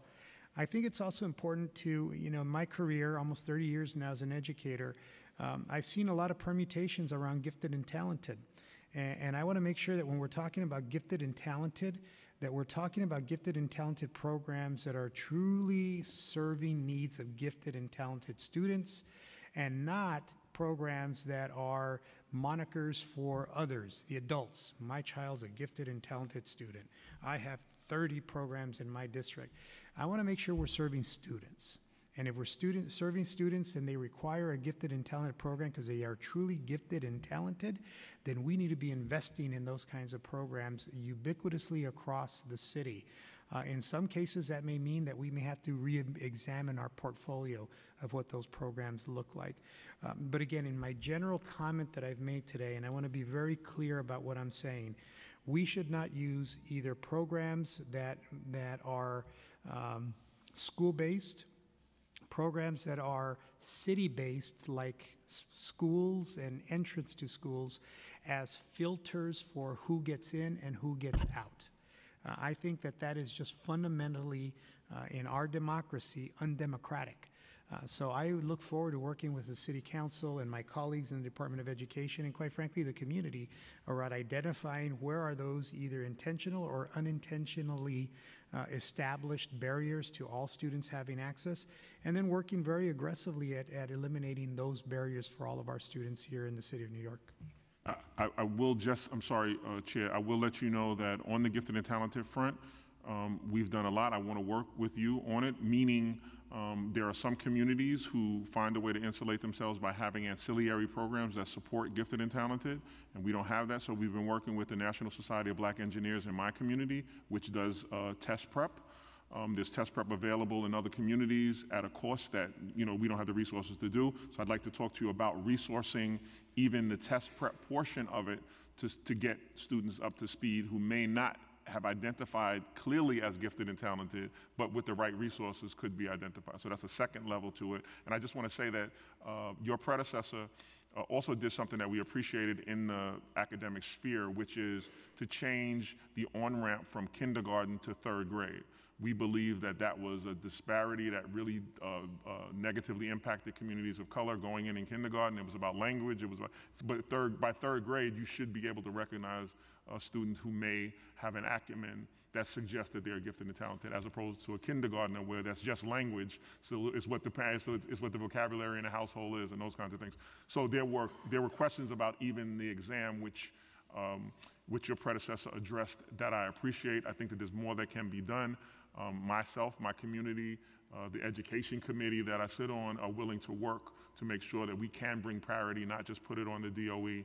Uh, we sit poised, ready to work with you to make sure that every student can have an opportunity and every student can have the potential to be gifted and talented. So. Councilman, we're, we're singing off of the same hymn book, so I appreciate that. Look forward to working with you uh, and look forward to meeting you soon. Thank you. Yeah, I mean, um, I have to uh, just get my little piece in here as well. I mean, this is the problem with with standard high stakes standardized tests to begin with. Is that um, you know, do they really measure uh, true giftedness or true uh, you know learning ability?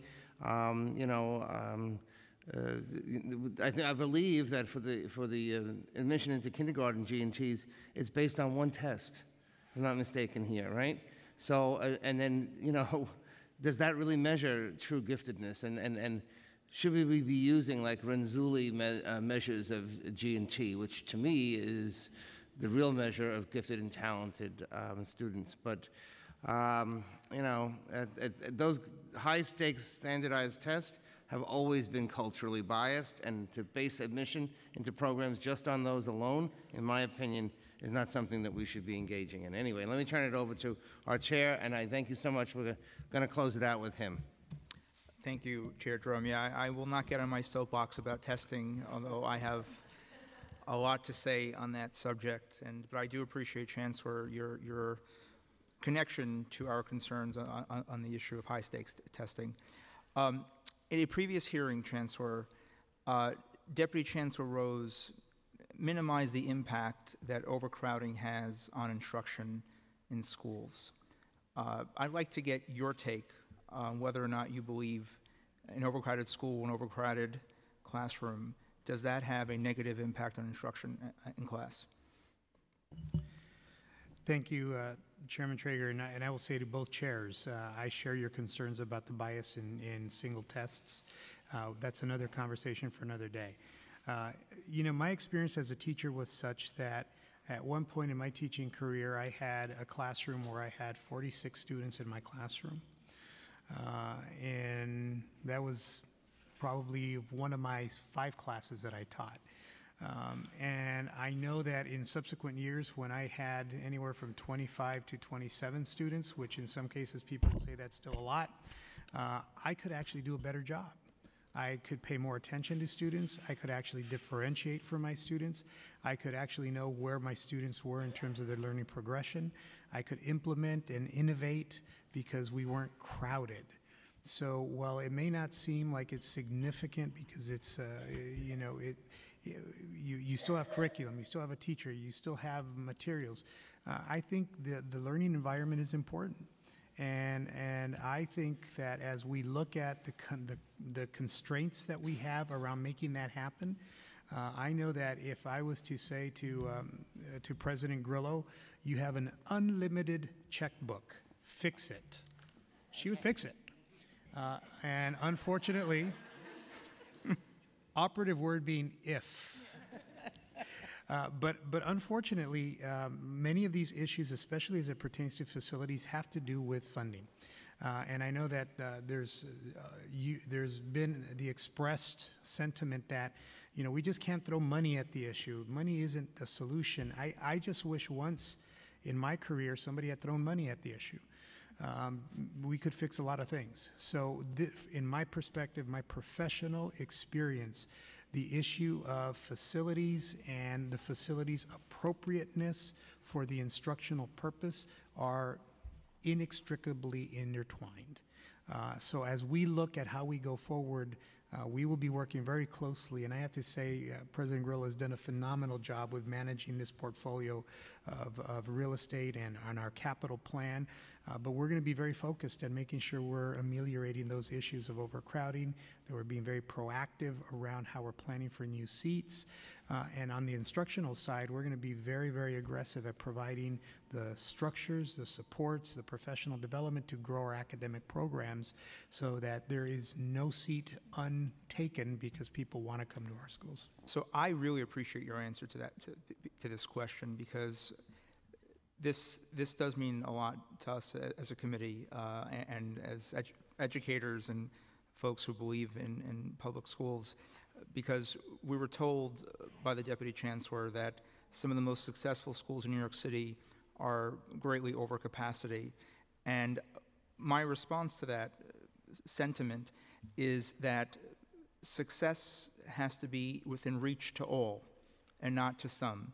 And I, a former teacher, I remember if I'm being observed and I have a class of over, you know, definitely over 30 kids, but only five or six are asking this, or I'm being, I'm only calling on five or six kids, or only hearing from five or six kids. That's not truly accountable talk. We want to hear from more kids than that. So we have to make sure that success is within reach to all and that we're not letting any kid, any kid fall through the cracks. So thank you, Chancellor, for, for that answer.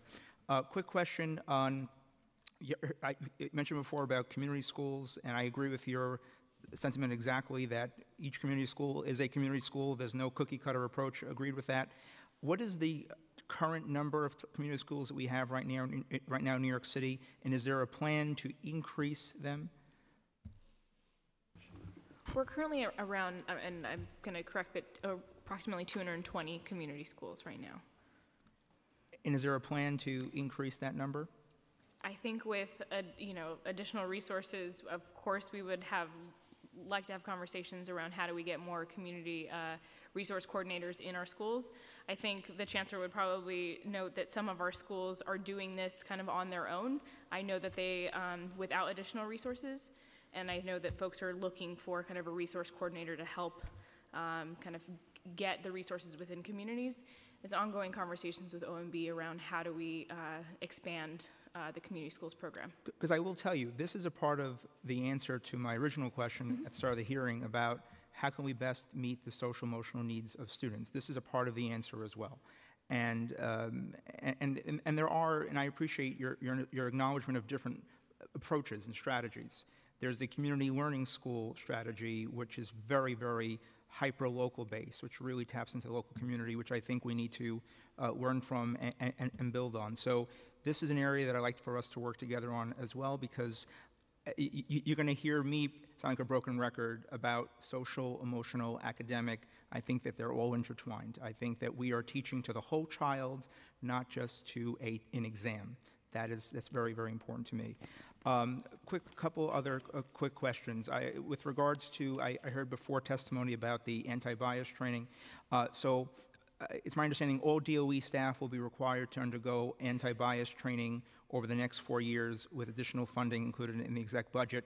Will this include school safety agents? Uh, This is for DOE staff, so school safety agents are on the NYPD, um, on NYPD's payroll and NYPD staff.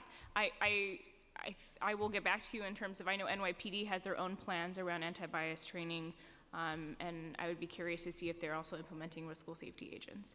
So this would be for DOE employees, um, as you noted, and our goal is to get to 142,000 of our staff in the next several years. Um, and it would be providing procession for all of the, our, our staff so they can get that training. But would you agree that it's important that this type of training be extended to all folks working in a school building? Chairman Treyger, what I would say to you is that every single person that works in a school site should be trained. I think it's an important, if nothing else, what it does is provides us with a common language, a common lexicon uh, through which we can have these sometimes very difficult conversations about how we're serving our students and what our expectations are. So everyone from the school safety agents to our food and nutrition workers, to our custodians, to our teachers, our paras, our principals, everyone would benefit from this kind of training. Thank you, Mr. Chancellor. And will the anti-bias training provided to DOE staff include issues around sexual harassment and abuse? My, absolutely. I think that's part of creating a safe and supportive working environment. Thank you, thank you, thank you for, for that answer. Um, I also just want to touch on the issue of, uh, very quickly, on the issue of school maintenance budgets. Um, we heard before, Chancellor, about universal, you know, uh, lunch and more breakfast in the, and, and breakfast in the classroom. And that also means that there will be spills in the classroom, and there will be sometimes incidents where folks have to better maintain. Um, you know, the DOE posts budgets at the school level on its website, uh, including the formulas used to determine school funding levels, such as FSF. However, there's no similar transparency on the allocation of buildings' custodial operations budgets. Uh, not even custodial engineers can see the factors that determine their buildings' custodial budgets. Will the DOE commit to making the formulas for determining custodial allocations in schools public and provide the council with a list of custodial allocations to each school, including the factors that determine each allocation? I do think that this is, I think we should have a broader meeting with, with yourself, uh, Chair Treyger and Chair Dromm, around the NISIS and the custodial spending, just so we can have a deeper discussion around how the resources are allocated. We have, obviously, when we built out this nonprofit, we have more insight around how budgets are spent within individual schools. but at this time, I can't provide you with the details of, of, of how and when we're going to um, give that information out. But I would love to have sit down and have a conversation with you about that in the future. Right, because so far, what I've learned so far, and I like to learn more, is that they look at the size of the school, square footage, Yep. which, which I understand. Yep. But wh- what, what I did not hear is that they take the age of the school into account.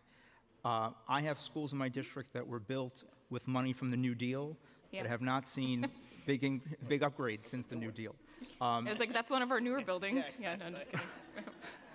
so this, this is an issue, I, I do think that the age of a building needs to be factored in, and I'd like to learn more about how, how we, but do you, are, are- are we, because this is an issue that I just want to be clear on, are there cuts to, are there any cuts to maintenance budgets of individual schools right now? So, no, there are no cuts. There, there have been situations where we've had to reallocate resources within schools around specific spending lines within the custodial budgets, but there are no cuts. Um, and we do expect to have ongoing conversations with OMB, and we do this. We want to do this yearly to ensure that there will be no impact to to the cleanliness of our buildings. Um, so I, those conversations are ongoing. All right, 'cause this might have been asked before, because the DOE is, uh, in fiscal 2018, the DOE is spending $684 million on the contract with Mhm. NISIS. Uh, However, the financial plan projects spending $612 million, right? Um, Is this an accurate, We do, um, this is, we're still having conversations with the OMB, but we do expect, uh, expect additional resources, uh, so that we, uh, will not see any cuts to schools. Okay, I'm just going to close by just a few qu- quick comments, just sort of like the summary, uh, Yeah. the, the, the, the wrap up. Um, Chancellor, I appreciate again the theme that you mentioned before about schools historically underfunded, underserved. Um, I, I also want to just bring to your attention the impact that still has today. Um, we, we discussed this in terms of numbers, but I also want to make, th- make sure that we understand in terms of perception in our communities. When we talk about enrollment, we talk about schools that have difficulty, you know, people who work really hard in these buildings but still suffer from, from enrollment gaps. And this was one of my issues when I had a hearing about the renewal school program. Um, schools need help from the DOE to get the word out about the good work that they're doing inside those buildings. They need help for a lot of reasons. First of all, they are doing good work. The public deserves to know about it. But there's, there are also private, privately funded, big funded agendas out there looking to really, I think, denigrate their, their good work and looking to just continuously, you know, just stereotype public schools and say that they're failing and that they're horrible. And they're also reaching into multi-ethnic media outlets uh, where I, I, from the Russian-speaking community, where they have gone on Russian radio to bash public schools to try to send kids, for example, to charter schools. And I share your view that kids are our kids, whether they go to public, uh, uh, district public school or charter school, these are our kids. We want to serve everybody. But I take issue when someone calls my student failing or when, when my, someone calls my school a failing school. I take issue with that as well. But our schools need help. And how can we help, you know, use the DOE's public relations arm to support individual schools to deal with issues of perception? Ha- has, have you given this any thought? So Chairman Treyger, Treyger I, I appreciate the passion. I'm, I'm right with you. Uh, I, I, was recently at an evening event, uh, which was um, a lot of uh, CEOs uh, in the city, and I was uh, a little shocked by some of the preconceived notions where uh, I got to tell you, I rolled up my, my sleeves, put on my boxing gloves, and went, went at it with these folks because there's this perception that traditional public schools are failing, and I, and I absolutely defy that definition. So I'm with you. Um, we, as a school system, quite frankly, are not organized to be a marketing firm. I'm just going to say that. And the reason I say that is that in other school systems that I've led, we've come to the realization that we are in a market and that there is tremendous marketing dollars in other sectors of the education field that are specifically not just promoting those options, but are denigrating our portfolio of schools. So I do think there is an opportunity and a need for us to take a marketing approach and really market the good things that are happening in our schools. I will tell you that some of the schools that perhaps the reputation is you don't want to send your child to that school, and I've walked those schools uh, to the councilman's uh, uh, point in Bed-Stuy. Um, and I've seen some of the most incredible teaching that is happening in those schools. Uh, and I think that's something we need to celebrate. Um, so, with with your support, uh, and as I work with my colleagues here, and as I enter this role, do not be surprised if we do not uh, come back at some point in the future with a marketing plan for New York City's public schools, uh, and really, really work with not only our philanthropic partners, some potential private, uh, public-private partnerships around really celebrating what the good things are that are happening in our traditional New York City public schools. Sometimes the opportunity to be uh, from an external experience and come into the city um, is a real benefit. And as I am, uh, as as I was reminded, the honeymoon's over. I, I get it, uh, but I still bring with me that fascination, that incredible optimism as I go into our communities and see different schools in New York City, and I compare that to what my experiences have been in other communities and the level of dedication, the level of funding, the level of investment, and I compare that dichotomy, we are in an incredible position. So I agree with you. Let's celebrate, let's lift it up, let's lift up educators that are doing, in, in many ways, God's work in some of the most difficult circumstances, but students are learning and communities are vibrant. Um, and that's going to require us to think a little differently about the, the, the, the, the old paradigm of the school system just kind of chugging along to this school system that's not only doing remarkable things for students and building communities, but we're going to celebrate that. We're going to show it. We're going to market ourselves. We're going to talk about what we're doing. We're going to talk about the people. I think that is something we should be very, very proud of and we can do together. I, I greatly appreciate that answer. And I was passed a budget note. I just wanted to just respond to earlier, just very quickly before. You mentioned before that there are no cuts to the maintenance. I, I'm being told that in the executive budget uh, that there's a cut um, of actually uh, what I'm reading here is that the release on April 26, 28 contains a cut of 99,768,135 from fiscal year 28, 2018 to the, to the budget for school facilities. Um, are, are you disputing those numbers? Can you speak to that, please? That yes, there. That is the the delta between last year and, and this fiscal year. We are. This is where we're having conversations with OMB to ensure that um, that our that our schools are not impacted. But there are but there are conversations ongoing with OMB and, and folks really understand the concerns there. Yeah, but just respectfully, I don't know how the schools will not be impacted with that type of cut. That that, that is significant. Um, and I just don't want to make sure, because one of the things we have to value in education is the physical space. Yes, That it's of course. clean, it's safe, and this is something that we would like the administration to prioritize. No cuts to our maintenance budgets, especially there's been no cuts to education uh, in this budget, so we should not see that suffer in, in- our schools. Um, The last uh, point I'll make, uh, Chancellor, I have a bill that's, uh, it's making its way in the council, just to bring it to your attention on the, ter- uh, on the issue of equity. Um, I applaud, I really applaud uh, those schools that have active and really engaged, uh, whether it's a PA, PTA organizations, alumni uh, or- organizations. That's extraordinary. We should celebrate them and applaud them.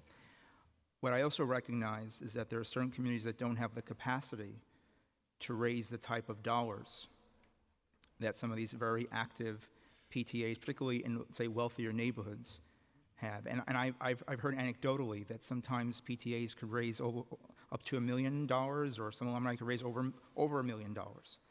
And that will fund air conditioners in a school, and that will fund debate teams, and that will fund some of the clubs and the activities that that school possesses.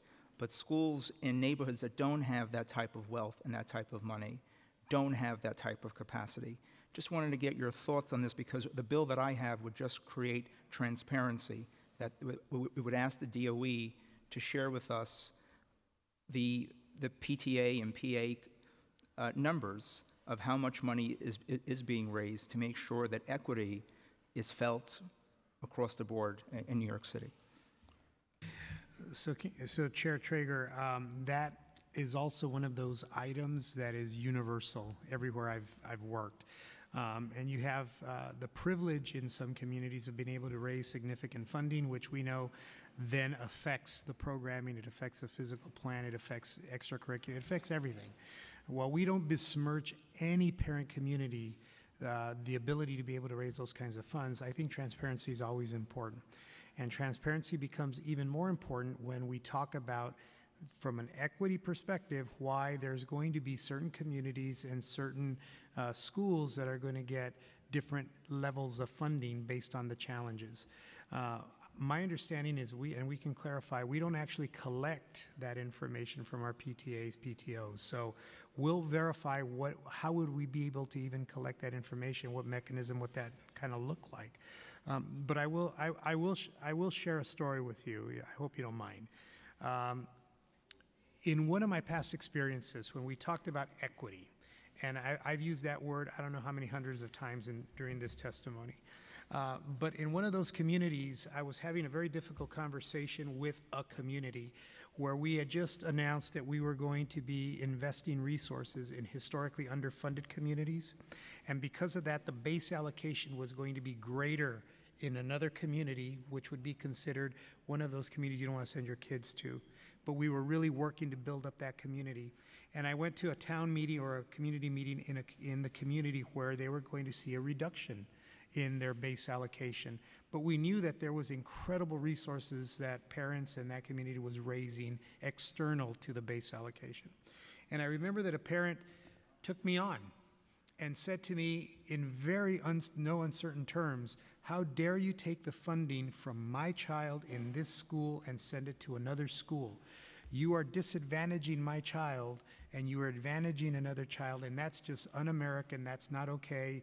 Um, called me every name in the book. And after about five minutes of trying to make the case of why there are inequities in the system, and that if all schools are able to rise, then the entire system rises, and we are living up to our commitment to the community. Uh, and this parent said, Absolutely not. That is not acceptable. And I finally said to the parent, I understand, I get it. Money is important. And she said to me, That's what I've been trying to tell you for the last 10 minutes. But money's important. So what I did is I said to this parent, Here's my business card. I want you to call me tomorrow morning, and I will guarantee your child a seat in one of those schools where we're sending the additional resources to, because money's important. I have yet to receive a phone call or an email from that parent.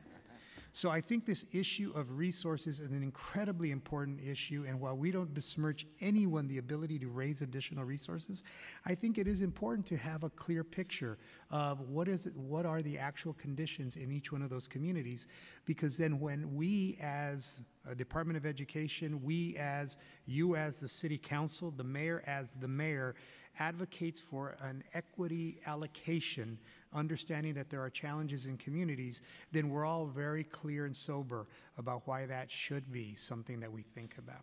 So I would love to meet with you, learn more about your bill, and then actually examine how we can continue to work towards transparency. Oh, thank you, Chancellor. This was a, it's almost like a marathon hearing. You've stayed the- from beginning to end, and that says a lot about your leadership and your, your leadership uh, style and approach. And it, it, it feels good to have an educator continue in the helm, and we have been greatly impressed uh, up to this point, and with your musical uh, abilities as well and talents and your connection to kids in our schools. Thank you very much, Chancellor, for today. Yo también quiero ah, agradecerse para ah, venir a esta audiencia hoy día con nosotros y para gastar tan mucho tiempo con nosotros aquí. Es un placer para tenerse aquí con nosotros hoy día. Mm. Thank you very much for coming. It's been a pleasure to have you and for spending so much time with us. Thank you very much. Thank you to the panel. Thank you. A true honor, and thank you for the opportunity. Thank, you. Now, this concludes our hearing for today. The Finance Committee will resume executive budget hearings for fiscal 2019 on Thursday, May 24th at 10 a.m. in the room. On Thursday, the Finance Committee will hear from the Office of Management and Budget, the Independent Budget Office, the Controller, the Health and Hospitals Corporation, and the public.